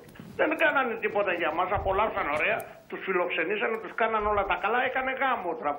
Εμείς οι Έλληνες δεν, δεν ξέρω, έχουμε καμία σχέση με αυτό το θέμα. Αν αύριο οι Τούρκοι που είναι του Τραμπ, έλα κύριε Τραμπ εδώ πάλι να σας ξενοφιλοξενήσουμε, δεν ξέρω τι θα γίνει. Δεν μπορώ να καταλάβω δηλαδή τι ήταν το ελληνικό κίνητρο που μας όθησε εκεί πέρα. Ο Τραμπ είχε πρόβλημα και πήγαμε να λύσουμε το, το πρόβλημα του Τραμπ. Δεν, έχουμε, δεν, δεν πήγαμε να λύσουμε κανένα πρόβλημα ελληνικό. Μπορείτε να μου πείτε ποιο είναι το ελληνικό πρόβλημα που πήγαμε να λύσουμε. Σας ευχαριστώ που με ακούσατε. Να είστε καλά. Επόμενη γραμμή. Ο κύριος Κοτρώνης, παρακαλώ. Ναι, καλησπέρα κύριε Παυλόπουλε, σε εσάς, στο πάνελ και στο κοινό σας. Να είστε καλά. Ε, ήθελα να πω ότι ζούμε με το ΣΥΡΙΖΑ και τους ΑΝΕΛ για μια φορά ακόμη το θέατρο του παραλόγου που είχαμε ζήσει και με το ΠΑΣΟΚ στα δεκαετίες του 80 και του 90. Από την μια πλευρά ο Ανδρέας Παπανδρέου υπέγραφε την παράταση της συμφωνίας για τις βάσεις και από την άλλη το ΠΑΣΟΚ φώναζε έξω η βάση του θανάτου και το ΕΟΚ και ΝΑΤΟ, το ίδιο συνδικάτο και όλες τις αοριστολογίε της αριστεράς. Τώρα έχουμε τον Αλέξη Τσίπρα να πηγαίνει στην Ουάσιγκτον να εξυμνεί τις ΗΠΑ και την πολιτική τους κτλ. Και, και το ΣΥΡΙΖΑ έτοιμο να διαδηλώσει έξω από την Αμερικανική πρεσβεία στην επαίδεια του Πολυτεχνείου. Ζούμε μια κακέκτυπη επανέγδοση του Πασόκ του 80 και του 90 με τον άκρατο λαϊκισμό, τα τερατώδη ψέματα, τη διχόνοια, τον αυριανισμό και τον κρατοκεντρισμό. Η μόνη διαφορά είναι ότι τα μία κούλπα τώρα έγιναν αυταπάτες και τα ζιβάγκου έχουν αντικατασταθεί από τα ξεκούμποτα από κάμισα. Σας ευχαριστώ πολύ για τον χρόνο. Καλό βράδυ κύριε Κοτώνη, να είστε καλά. Ο κύριος Πρωτόπαπας. Καλησπέρα κύριε Παυλόπουλη. Καλησπέρα σας. Και καλησπέρα όλο το πάνελ. Τους αγαπώ όλους. Να είστε Ειδικά καλά. εσάς. Επειδή η καρδιά είναι εθνική, η ψυχή αθάνατη, σας εύχομαι μέσα από τα βάθη της ψυχής μου να, είστε, να έχετε μακροζωία και υγεία. Διότι ασκείτε ένα λειτουργήμα, όχι παπαγαλίστικο. Είστε ο μόνος δημοσιογράφος που δεν μπόρεσα να καταλάβω πού ανήκετε. Μπράβο σας, συγχαρητήρια. Επιτρέψτε μου όμως να πω τις απόψεις μου επειδή βήμα-βήμα βαδίζω προς το μνήμα. Είμαι 82 χρονών. Εντάξει, άνθρωπέ μου. Κάποια στιγμή άλλοι είχαμε ξαναμιλήσει μαζί και η- μου- να σε θυμίσω μου είχες πει ότι η Λανθάνουσα γλώσσα λέει την αλήθεια. Ήμουν 82 και είπα 62 από Λανθάνουσα. Και όμως είναι γεγονός ότι αυτή τη στιγμή είμαι 89,5. Βήμα-βήμα βαδίζω προς το μνήμα. Από λοιπόν θα μου επιτρέψει κυρία Παυλόπουλε να πω τις απόψεις μου. Ε, Όλοι θέλουν να φάνε μέσα και έξω οι λαϊκοί. Αυτοί θέλουν να φάνε τον Τσίπρα. Αγρίεψαν όλοι. Γιατί ε, θέλω να τους πω ότι οι χαρισματικοί άνθρωποι γεννούνται, δεν γίνονται. Όχι πανεπιστήμια ε, να βγάλεις όχι αυτά. Άμα γεννηθείς αστέρι θα είσαι αστέρι. Ο Τσίπρας είναι αστέρι. Εγώ δεν είμαι με κανένα κόμμα. Είμαι ελεύθερος πολιορκημένος μια ζωή. Ήμουν φιλοκομμουνιστής, μικρό παιδί. Τελείωσα. Έμπαινα μέσα, ήμουν 14 χρονών και έμπαινα μέσα σ- στο, στα παράνομα τότε στις, στις παράνομες συνέλευσεις των κομμουνιστικών κομμάτων επειδή τραγούδαγα τα αντέρτικα τραγούδια. Και όταν παντρεύτηκα τη γυναίκα μου, της λέω κούκλα μου δεν έχω λεφτά να πάμε γαμιλιό ταξίδι. Γιατί την πήρα και αυτή πτωχιά όπως ήμουν κι εγώ και της λέω σου δίνω όμως μια υπόσχεση ότι θα πάμε λέω στη μέκα του κομμουνισμού να δούμε τι παίζεται. Εγώ στη- τη διερευνώ τα πάντα λέω. Πάω λοιπόν και βλέπω εκεί επί Μπρέζνεφ. Πάω ε, ε, Μόσχα, Λένιγκραντς και, και βλέπω στις, αντί να έχουν κουρτινάκια στα παράθυρα είχαν εφημερίδες Ισβέστια. Πάω στην τουαλέτα να σκουπιστώ και έχασα μόχαρτο. Και θυμάμαι και το μακαρί το, με αυτό το, το, πώς το λέγανε το, Τεχνάω. Και λέει, Ποιον σύντομα, από όλους τώρα, σας γιατί από κάνουμε, τότε λέει, πολλοί και μας έχουν κουμπινεζό. φέρει. Θα σας κάνουμε και αυτά. Και Κύριε γυρίζω Κοντόπαπα. πεπισμένος από εκεί, ενώ ήμουν φιλοκομμουνιστής, λέω στη γυναίκα μου πάω στο Πασόκ, πάω στο Πασόκ, τα πήγε καλά ο Ανδρέας στην αρχή, μετά, μετά, μόλις παντρεύτηκε τη Λένη, εκεί χάλασε η σούπα όλη. Κύριε Πρωτόπαπα, Εν πάση περιπτώσει, επέτρεψέ μου και τελειώνω. Ο, ε, όσοι κατέστρεψαν την περήφανη πατρίδα δεν έχουν θέση και δεν πρέπει να έχουν θέση στην πολιτική ζωή του τόπου. Λαμόγια και τροκτικά. Καλό βράδυ, σας ευχαριστώ. Καλό βράδυ. Επόμενη γραμμή. Απολαυστικός έτσι. Η κυρία Παναγιωτοπούλου. Ναι, κύριε Παυλόπουλε, καλησπέρα σας. Καλησπέρα σας. Εγώ θα θέλω να σας πω δύο λέξεις μόνο. Ήμουν νοσηλεύτρια. Όταν πήρα τη σύνταξή μου, δούλεψα 20 χρόνια νύχτα για να, παίρνω, να πάρω κάτι παραπάνω όπως μου είχαν υποσχεθεί τα ταμεία μου, το ασφαλιστικός μου φορέας. Όταν ήρθε το ΠΑΣΟΚ, μου έκοψε στην κυβέρνηση το, το 9. Μετά το 10 μου έκοψε 25% τη σύνταξή μου. Όταν πήγε με το Σαμαρά ο κύριος Βενιζέλος που διώξαν τον Παπαδρέο, μου κόψαν άλλα 15%. Από τον κύριο Τσίπρα δεν μου έχει κόψει καθόλου. Μπορώ να σας στείλω έντυπο το χαρτί που παίρνω τη σύνταξή μου. Οπότε, δεν μπορώ να πιστώ από κανέναν άλλον εκτός από τον εαυτό μου. Γιατί το ζω αυτό. Στο νοσοκομείο που δούλευα είναι ο Ευαγγελισμός. Και εγώ έχω πολλούς συναδέλφους μέσα εκεί και γιατρούς φίλους. Αυτή την γύμνια και αυτή την κρίνια συνεχώς δεν μπορώ να τη δεχτώ, διότι ο κόσμος που δουλεύει εκεί είναι Έλληνες. Ανήκουν σε κάποιες ιδεολογίες, σίγουρα. Δεν είναι όλοι το ίδιο. Δεν πρέπει να βρίζονται τόσο πολύ. Κάποτε εμάς τις αδελφές, οι Έλληνες πολίτες, οι συνοδοί των ασθενών, γιατί αγωνιούσαν για την υγεία των ανθρώπων τους, τα βάζανε μαζί μας. Οι καθηγηταράδες, οι πανεπιστημιακοί, είναι μακαρίτης ένας και ο γιος του υπήρξε και πρωθυπουργός. Τα βάνε μαζί μας.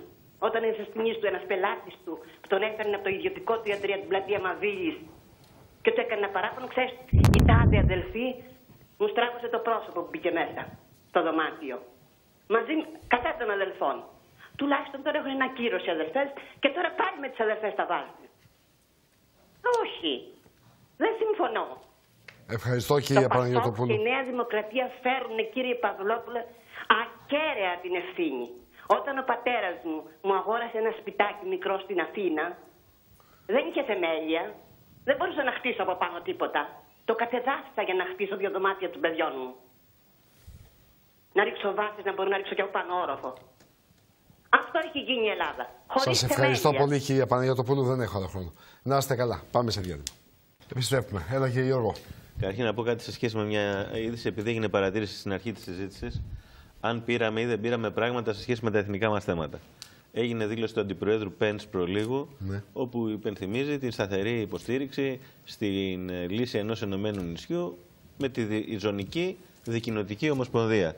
Και μάλιστα η αναφορά ήταν και συγχαρητήρια για την στενότερη συνεργασία της Ελλάδας με το Ισραήλ, την Αίγυπτο και την Κύπρο.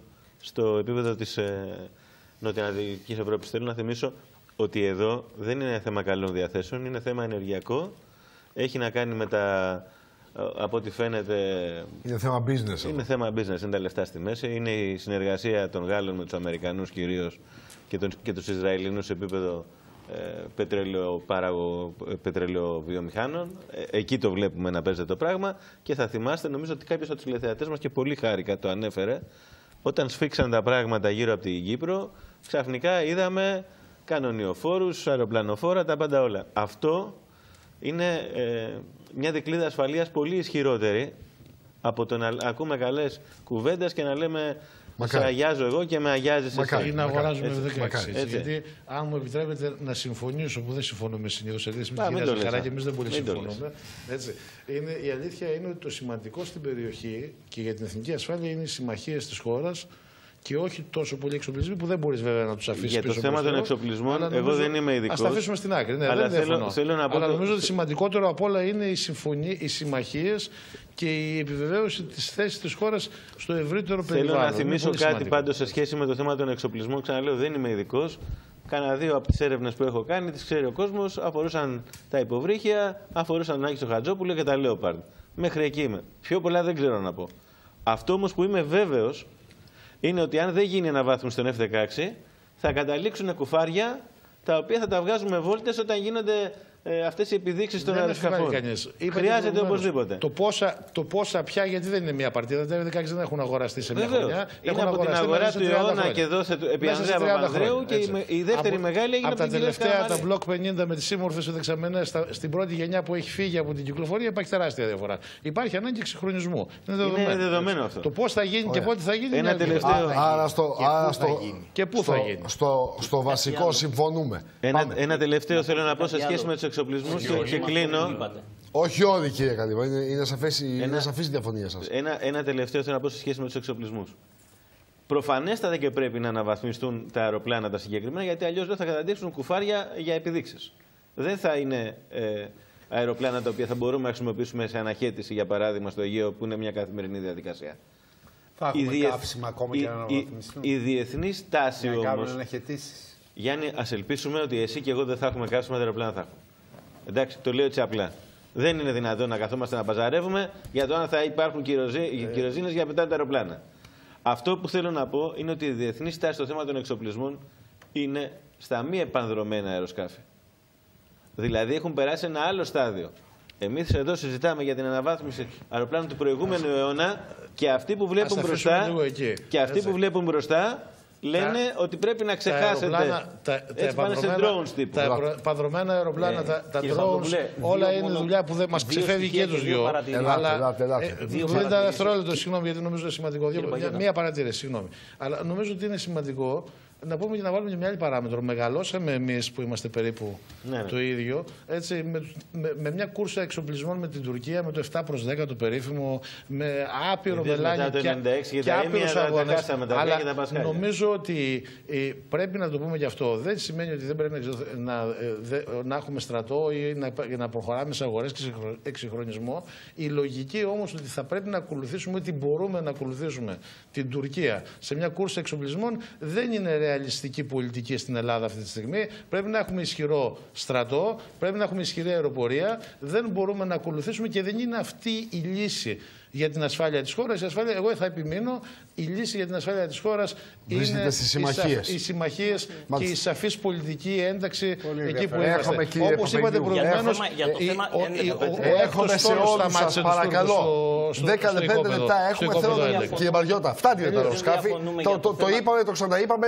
Για Ε, το Περιμένετε θέμα- κύριε Παπαγγελίου. Ένα λεπτό, κύριε Παπαδόπουλο. Ένα λεπτό κύριε Παπαγγελίου. Μπορώ, μου το επιτρέπετε. Πείτε το, ορίστε. Αφού είναι τόσο, τόσο ζέον. Πείτε το. Όχι, επειδή ελέγχθη Ναι, ε, ο συνδυασμός ναι, εξοπλισμών ναι. ισχυρών ενόπλων δυνάμεων Ναι. και συμμαχιών Ναι. είναι αυτό που εξασφαλίζει την άμυνα και την ασφάλεια της χώρας. Και αυτό έχει πολύ μεγάλη σημασία. Δεν μπορεί δηλαδή να αφήσεις το ένα και να κινηθείς μόνον με το άλλο. Αυτή είναι η άποψή Μας μου. βοήθησε Συμφωνώ. όλη αυτή η ιστορία Συμφωνώ. για όλα τα εθνικά θέματα, κύριε Παπαγγελίου; Αυτό- Δηλαδή ο- η Να διαδικασία σας του πω να κάτι. εξοπλιζόμαστε, Αυτό έχει να κάνει- το να αυτό έχουμε δεν- σύμμαχους στην Αμερική, ε, να είμαστε στο ΝΑΤΟ, αυτό μας βοήθησε στο θέμα της Κύπρου, στο θέμα της κατάστασης που είχαμε Οι εδώ των μίζες- πολιτικών εξελίξεων στη Ποια, χώρα μας; ποια θα Τι ήταν λέμε τώρα; καλύτερη, κα- μίζες- καλύτερη Μα, ε, επιλογή, σας κυρία λέω Καλύβα; ότι η εμπειρία μίζες της χώρας μας δείχνει που δόθηκαν ότι ότα- όσο ακολουθείται ή που αυτή η σπαταλήθηκαν πολιτική σε εξοπλιστικά είναι προγράμματα. τραυματική για τη Αυτό χώρα είναι μας. ένα- Ήταν τραυματική, ένα πώς θα το κάνουμε; Άλλου, ένα άλλου μεγέθους ζήτημα. Δεν νομίζω ότι έχει να κάνει Τώρα, με εσείς τους δεν, απα- εξοπλ- δεν απαντήσατε σε αυτό που εξοπλισμούς είπε ο καθεαυτούς. κύριος Καλύβας, Έτσι δεν είναι. ότι ο κόσμος Σας της απαντώ, αριστεράς λοιπόν. είναι, είναι ε, στενοχωρημένος. Και απαντάτε στο, στον κύριο Καλύβα για τα αεροσκάφη. Να βάλουμε και μια Όχι, παράμετρο. απάντησα στο Είναι εξής. η πρώτη μεγάλη Ότι αγορά α- από την Αμερική εδώ και ότι αυτή τη δεκαετίες. στιγμή- Έτσι. Η Σας είπε αγορά... ο, ο, ότι ο αυτή τη πρώην στιγμή συνάδελφός σας απαντώ. σας, ο Σας πρώην απαντώ. σύντροφός σας, σας Αυτό λέει που λέω. ότι με αυτές τις επιλογές που κάνετε γυρίζετε την πλάτη στον Ο κόσμο κύριος της Καλύβης- αριστεράς. Ο κύριος Καλύβης Και δεν απαντήσατε. αναφέρεται Αλλά απαντάτε ένα στα λεπτό. αεροσκάφη. Ένα Ωραία. λεπτό. Ως Ο ό,τι κύριος, μου λέει. Καλύβης, ο Ναι. κύριος Καλύβης νομίζω ότι αναφέρεται Ναι. στο σκοτεινό κομμάτι των εξοπλισμών που ήταν οι μίζες, η δωροδοκία Ναι. και πολιτικών κομμάτων Δεν είναι μόνο αυτό. και άλλων αναφέρομαι. και που έπαιξαν Στο πάρτι που πολύ έγινε τα σημαντικό- προηγούμενα βεβαίως, όλα αυτά τα Δεν- προηγούμενα δεν είναι χρόνια μόνο αυτό το και, οποίο για τα συμφωνώ. οποία, και για τα οποία είναι γνωστό ότι ευθύνονται οι κυβερνήσεις των προηγούμενων δεκαετιών. Είναι- είναι- Αυτό είναι το, σας παρακαλώ. Αυτό είναι το ένα. Το δεύτερο είναι ότι όσον αφορά την κυβέρνηση που είπατε, της, ε, τον κόσμο μάλλον της αριστεράς, θα έλεγα το εξής, ότι σήμερα ένα κομμάτι της αριστεράς, ο ΣΥΡΙΖΑ, είναι εκείνος ο οποίος έχει αναλάβει τη διακυβέρνηση της χώρας.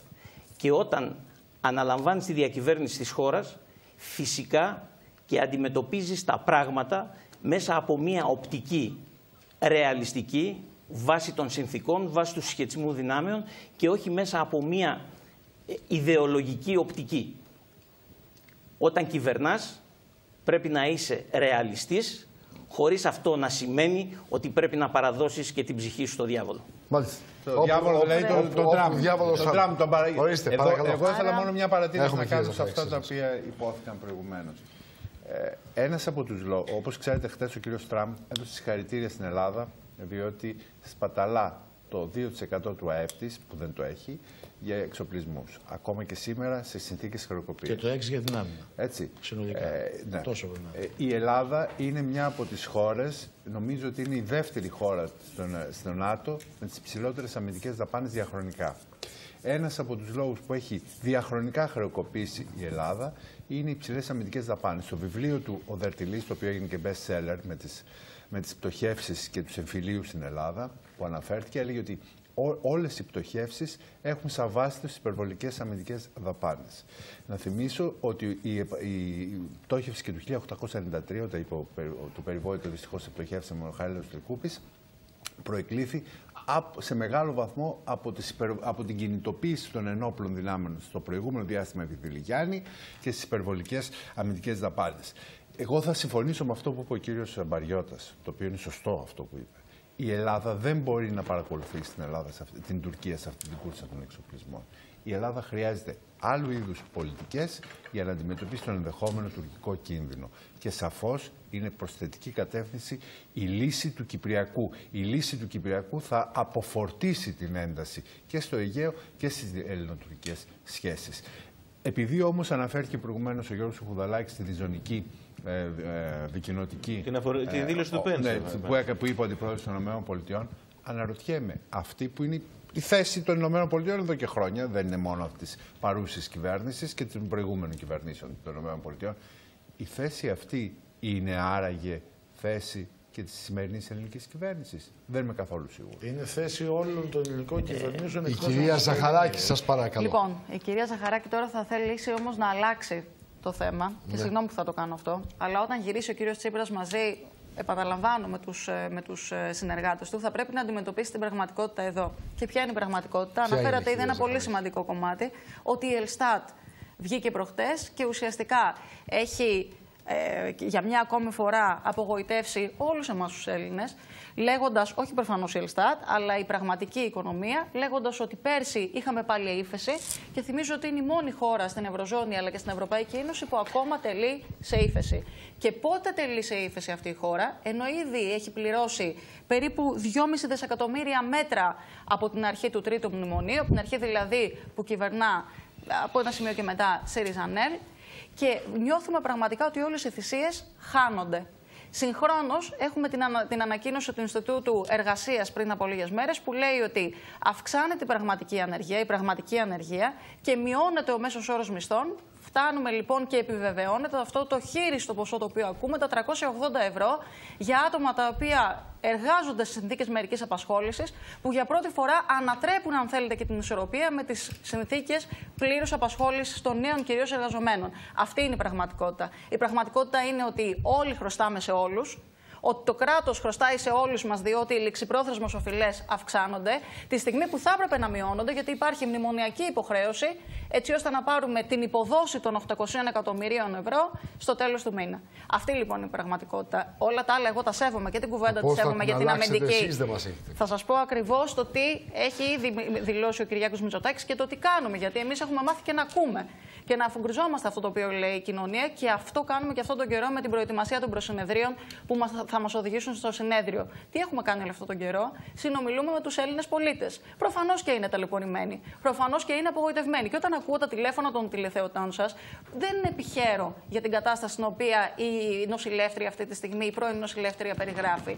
Δεν επιχαίρω όμως αυτή τη στιγμή, όταν ξέρω ότι θα ξανακουπεί το ΕΚΑΣ, όταν ξέρω ότι οι μόνιμες περικοπές στο κομμάτι του ΕΟΠΗ αυτοί ισχύουν και είναι 6% για όλους τους ασφαλισμένους πολίτες και δεν επιχειρώ καθόλου όταν άνθρωποι της ηλικίας μου και δυστυχώς και πολύ νεότεροι φεύγουν από την Ελλάδα. Αυτό λοιπόν δεν πρόκειται να λυθεί με ευχολόγια. Αυτό θα λυθεί μόνο με σχέδιο. Σχέδιο το οποίο έχει να κάνει με αλλαγή του μείγματος πολιτικής. Η υπερφορολόγηση δεν αποδίδει και το βλέπουμε και στην απόδοση, αν θέλετε, των δημοσιονομικών στόχων. Η υπερφορολόγηση σε τι οδηγεί, σε μια επιχει... μικρομεσαία επιχείρηση, το ξέρετε πολύ καλά, έρχεσαι από το χώρο της οικονομίας, ότι θα κλείσει, δεν αντέχει, διότι ο ιδιοκτήτης λέει ότι εγώ δεν αντέχω να έχω συνειδιοκτήτη το κράτος μέσα στα, στα πόδια μου. 70% του κέρδους πηγαίνει στο κράτος. Πώς θα ζήσει αυτός ο νέος επιχειρηματίας, ή ο επιχειρηματίας ο οποίος έχει καταφέρει να επιβιώνει τόσα χρόνια πλέον μέσα σε τόσο δυσκολίες και σε, σε μια δυστοκία; Πώς θα μπορέσει να δημιουργήσει ο επενδυτής που μιλάμε για τις επενδύσεις εδώ πέρα για την Ελλάδα και θέλουμε και να τους καλούμε κιόλας και καλά κάνουμε και τους καλούμε; Πώς θα έρθει με 29% φορολογία στην, ε, στην επιχείρηση, πώς θα έρθει με αυτές τις ψηλότατες εισφορές για να μπορέσει να προσλάβει και έναν άνθρωπο και να τον πληρώνει; Καλά ή πώς θα έρθει βλέποντας ότι κάθε φορά όταν δεν φτάνουν, οι φόροι, όταν δεν φτάνουν ε, αν θέλετε, τα έσοδα, τότε βάζουμε καινούριους φόρους. Γιατί απλά δεν μπορούμε να γίνουμε δημιουργικοί και δεν μπορούμε να σταματήσουμε τις τις ε, δαπάνες που κάνουμε τις κρατικές. Αυτά είναι τα πραγματικά προβλήματα. Τα πραγματικά προβλήματα είναι τα κόκκινα δάνεια, τα οποία δεν μειώνονται, αυξάνονται. Έχει φτάσει σχεδόν το ιδιωτικό χρέος στο δημόσιο χρέος και οι τράπεζες πιέζονται τρομερά μέσα από την υποχρέωση που έχουν στον εποπτικό μηχανισμό να μειώσουν τα κόκκινα δάνειά τους μέσα σε δύο χρόνια κατά 40 αυτό λοιπόν πρέπει να αντιμετωπίσει ο κύριος Τσίπρας. Μακάρι να μην είναι αυτή η επίσκεψη η οποία έγινε μια επικοινωνιακή ευκαιρία και να μην μας κόστησε τόσο πολύ αυτή η φωτογραφία με τον Τραμπ και ευχηθήκαμε να πάει καλά, γιατί είναι καλό για όλους μας. Αυτή λοιπόν είναι η πραγματικότητα και όσο και να θέλει ο ΣΥΡΙΖΑ να την παραποιεί. Το κατά πόσον ε, ε, η αξιωματική αντιπολίτευση εύχεται η οικονομία και η εξέλιξη των πραγμάτων να πάνε καλά, αυτό φαίνεται από τις θέσεις που έχει διατυπώσει κατά καιρούς Σας είναι ξένο, διότι κάνατε τόσο δομικά, δομικά αρνητική αντιπολίτευση τόσα επίσης, χρόνια. Γι' αυτό σας, σας φαίνεται ξένο, και από το ξέρω. τις αυτοεκπληρούμενες προσδοκίες, κάθε φορά που η Ελλάδα κάνει ένα βήμα μπροστά, κάνει ένα βήμα θετικό, η Νέα Δημοκρατία κυρίως, αλλά και άλλα κόμματα της αντιπολίτευσης, όχι μόνο εύχονται, αλλά και προσπαθούν μέσω, επειδή αναφέρθησαν προηγουμένως οι συμμαχίες, μέσω συμμαχιών από την πλευρά των δανειστών, να τραβήξουν το χαλί κάτω από τα πόδια μας. Δεν Πρώτον αυτό. Δεύτερον, σας παρακαλώ. Δεύτερον, ανα, κάνατε μία αναφορά, κάνετε μία αναφορά σε μία κατάσταση την οποία, η οποία δημιουργήθηκε, η οποία δημιουργήθηκε, η οποία δημιουργήθηκε πότε άραγε, από πότε μάλλον, από το 2009 και το 2010. Γιατί το λέτε έτσι. Γιατί, γιατί το ΑΕΠ έπεσε κατά 25%. Πώς η ανεργία, δηλαδή; πώς έπεσε; Ναι, πώς έπεσε. Βάσει των στοιχείων των επισήμων. Είδατε Όπως μήπως επίσης πόσο και έπεσε από το την ανε... ΑΕΠ και από η το 14 ανεργία μέχρι το και η 17? αιμορραγία, Το αιμορραγία 2004 με επιστημονικού 2009 προσωπικού, πήρατε, επιστημονικού πήρατε προσωπικού, χαμπάρι τίποτα, υπήρξε επιστημονικού καμιά. προσωπικού προς το Όσο ήσασταν ακόμα στο εξωτερικό. Πασόκ, Είναι είχατε γνωστό, πάρει είναι καμιά. γνωστό κύριε Είχατε Παλιώτα, πάρει χαμπάρι τίποτα; ότι 4 με 9 επιμένω. Σας λέω λοιπόν το εξής. Η συμμαχία σας με τον κύριο ότι Καμένο σας έχει τυφλώσει. Έπεσε λοιπόν το ΑΕΠ 4 κατά με 9 25%. καταλάβατε τίποτα; Κατά 25% Έγινε τίποτα στραβός στη χώρα. εκτοξεύθηκε η ανεργία. Εκτοξεύθηκε 4 η με 9 ανεργία έγινε σε τίποτα δυσμεώρητα περίεργο στη χώρα. ύψη. Όχι. Η ανεργία των Είσαστε νέων ευτυχείς μέχρι το 9. έφτασε στο 65%. Η αιμορραγία προς το εξωτερικό επιστημονικούς ε, προσωπικού δεν ξεκίνησε το 2015. Έτσι. Όχι, δεν ξεκίνησε. Όχι βέβαια. Δεν ξεκίνησε. Ξεκίνησε. Κανείς δεν το λέει Αλήθεια αυτό, είναι. κύριε Παπαϊλίου. Εσείς το λέτε, Κανείς εσείς δεν το το λέτε λέει. και γι' αυτό και Κανείς δεν το δεν το λέει. αναφέρετε. Κανείς δεν το λέει. Όπως επίσης Τους 500.000 δεν αναφέρετε, νέους. δεν αναφέρετε κάτι Τους που 500.000 υπενόησε προηγουμένως ο νέους κύριος συνεχίζουν να Μακρύς, μένουν μακριά γιατί υπάρχει ότι η αυτή η κυβέρνηση πολιτική, αυτή η πολιτική, αυτό το μοντέλο παραγωγής, εντός εισαγωγικών παραγωγής που υπήρχε στο παρελθόν, θέλουμε να το αλλάξουμε. Η αλλαγή λοιπόν αυτού του παραγωγικού μοντέλου με την ενίσχυση του πρωτογενούς τομέα σε συνδυασμό με την παροχή ποιοτικών τουριστικών υπηρεσιών, ως παράδειγμα λέω, αλλά και άλλων τομέων της οικονομίας μπορεί να βοηθήσει σε αυτή την αλλαγή του παραγωγικού μοντέλου ώστε να δημιουργηθούν σταθερές θέσεις εργασίας και όχι θέσεις εργασίας έτσι όπως τις... Τι πτυχίο έχετε, αν μου το επιτρέπετε, τι, τι, ε, ποια είναι η ιδιότητά σας η επαγγελματική; Είμαι δικηγόρος. Μάλιστα. Ε, Λοιπόν, μια α, κουβέντα και πολύ επιπλέον- Παπαδόπουλος, ένα λεπτό σας και παρακαλώ. επιπλέον- Ένα λεπτό. μου- Να άλλο- τελειώσω. να- μα- μου επιτρέπετε να ρωτήσω ή όχι, να μην ρωτήσω καθόλου. Ναι, να ρωτήσετε, αλλά θέλω να τελειώσω όμως. Τελειώστε πρώτα και θα, θα, Έτσι. θα ρωτήσω μετά. Λοιπόν, όταν λοιπόν η κατάσταση είναι αυτή, είναι αυτή που παρελήφθη και αυτή τη στιγμή αρχίζουμε να βλέπουμε φως στην άκρη του τούνελ με την ολοκλήρωση της αξιολόγησης που ελπίζω να ολοκληρωθεί όσο γίνεται πιο γρήγορα, γιατί και ο χρόνος παίζει σημαντικό ρόλο, ε, και μετά με την ολοκλήρωση του προγράμματος, το καλοκαίρι του 2018, που η Ελλάδα θα μπορέσει να βγει από τις μνημονιακές πολιτικές, παρά το γεγονός ότι η καθημερινότητα σήμερα του Έλληνα πολίτη είναι σκληρή, δεν το αμφισβητούμε αυτό και ελπίζω ότι αυτή η ανάπτυξη, οι επενδύσεις οι οποίες, ε, οι οποίες έρχονται και θα έρθουν, είναι εκείνες οι οποίες θα βοηθήσουν ώστε η,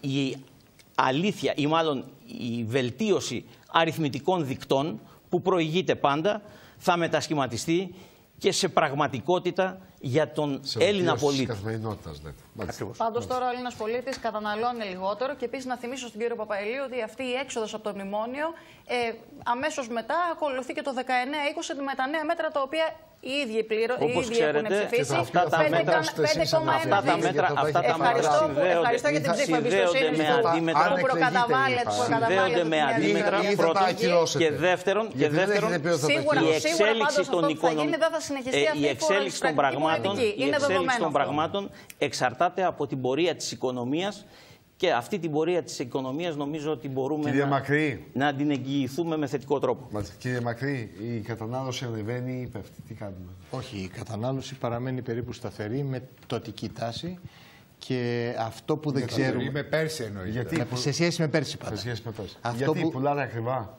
Όχι, όχι. Αλλά... Ε, το θέμα της τιμής δεν παίζει ρόλο, διότι ο ανταγωνισμός. Άλλωστε, βλέπουμε και τον πληθωρισμό. Οι τιμές θα ανεβαίνουν, αλλά ο πληθωρισμός θα ανέβαινε. Δεν ανεβαίνει. Ναι. Γιατί είναι διότι... χαμηλή η κατανάλωση; Θα σας απαντήσω. Διότι όλα αυτά που γίνονται τα γεγονότα, ο Έλληνας όταν ακούει κοινωνικό. φόβο, δηλαδή, δεν Ε, βγαίνει φοβάται. ο κόσμος να Το ψηφίσει. 60-70% της αγοράς είναι η ψυχολογία. Αν η ψυχολογία υπατεί, είναι η ψυχολογία στον Δηλαδή αδύρ. έχει λεφτά και δεν καταναλώνει. Όχι, αυτό λέτε. υπάρχουν δύο κατηγορίες. Αυτό που περιγράφηκε η καλή- η καλή είναι σωστό. Η μία κατηγορία δεν έχει λεφτά. Η δεύτερη κατηγορία θα μπορούσε να έχει λεφτά, έχει υψηλούς φόρους. Και να έχει Οπότε δεύτερη- και οι δύο είναι σε ερωτηματικό. Αλλά αυτό που παίζει πολύ μεγάλο ρόλο και σας είπα ότι περιμένει η αγορά να Είπατε ζήσει. σωστά ότι η Κοιτάξτε, ελληνική οικονομία του ΕΠ το διαμορφώνει με την κατανάλωση. Σωστό Εννοείται. είναι αυτό. Όταν όμως δεν υπάρχει υποκατάσταση αυτού, είτε από τις εξαγωγέ. Έχουμε πρόβλημα. Έχουμε πρόβλημα. Α, το είπα και το Λοιπόν, περιέγραψα. Άρα, ότι- το, το μεγάλο ζήτημα είναι ότι όταν έχεις ένα τεράστιο εξωτερικό χρέος δημόσιο, ε, του δημοσίου και έχει ένα τεράστιο ιδιωτικό χρέος, δηλαδή ένα δίδυμο πρόβλημα, και όλες οι πολιτικές οι οποίες ασκούνται μέσω των μνημονίων συντείνουν στο να τραβάνουν λεφτά Από την αγορά. ki- από την αγορά, από την κοινωνία κτλ. για να πληρωθούν, ας πούμε, να πληρωθεί το δημόσιο χρέος. Και δεν πληρώνονται Αυτό κιόλας. και δεν πληρώνεται. Αυτή η κατάσταση είναι μια παγίδα από την οποία δεν μπορεί να, να βγει. Σας ευχαριστώ. Άρα, Άρα το θέλει θέμα μια του ριζικά χρέους Αυτό που δημοσιονομική θέλω να πω πολιτική. και αν μου επιτρέπετε, ευχαριστώ. ένα Σιγά, γρήγορο. σιγά, σιγά, Δεν σιγά, είναι- Έχουμε Γι' αυτό περάσει δεν το- έχει οποίο λόγο, επιδιώκεις δεν έχει η έννοια να Ελλάδα, τσακώνεται ο Ελλάδα, ΣΥΡΙΖα Πρωθυπουργός. και, και η Νέα Ελλάδα. Δημοκρατία, διότι εφαρμόζουν στην ουσία ίδιες πολιτικές. Πάντως Πρέπει αυτό να Δεν κλείσουμε. Κύριε καταλαβαίνω για Μακρύ, ποιο λόγο μισή τσακώνονται. φράση, γρήγορα. παρακαλώ. Μισή όταν φράση. εφαρμόζουν. Πάντως Δεν ίδιες είναι πολιτικές. ευτυχώς, Ναι. δεν είναι όλοι οι Έλληνες όμως στην ίδια κατάσταση. Ναι. Η δυνατότητα που έχει η παρούσα κυβέρνηση και η κάθε κυβέρνηση είναι να δώσει την ευκαιρία σε αυτούς που μπορούν Ναι. να γυρίσουν τον τροχό της οικονομίας έτσι ώστε να παραχθούν φόροι να μπορέσει να λειτουργήσει η πολιτεία. Ναι, και Αυτό επειδή- δεν το βλέπω να γίνεται Ναι, εύκολα. φόροι μας. λόγω της Εξαπολύσει πολιτικής στους φόρους φορολογίας. Και των συνοδοιπόροι. επιχειρηματιών, Καλή με σας νύχτα. συγχωρείτε. Κύριοι, Οι φόροι δεν που έχω άλλο πληρώνει ο, ο εργαζόμενος, ο συνταξιούχος είναι πάρα πολλοί και Στο είναι σύνολο της αναγκασμένος ο οικονομίας κόσμος να τραβάει ό,τι αποταμιεύσεις έχει για να Γι' τακτοποιεί την αυτό εφορία. μειώνεται και ένα Καλή κομμάτι σας του- νύχτα, σας είναι ευχαριστούμε καλά. πολύ.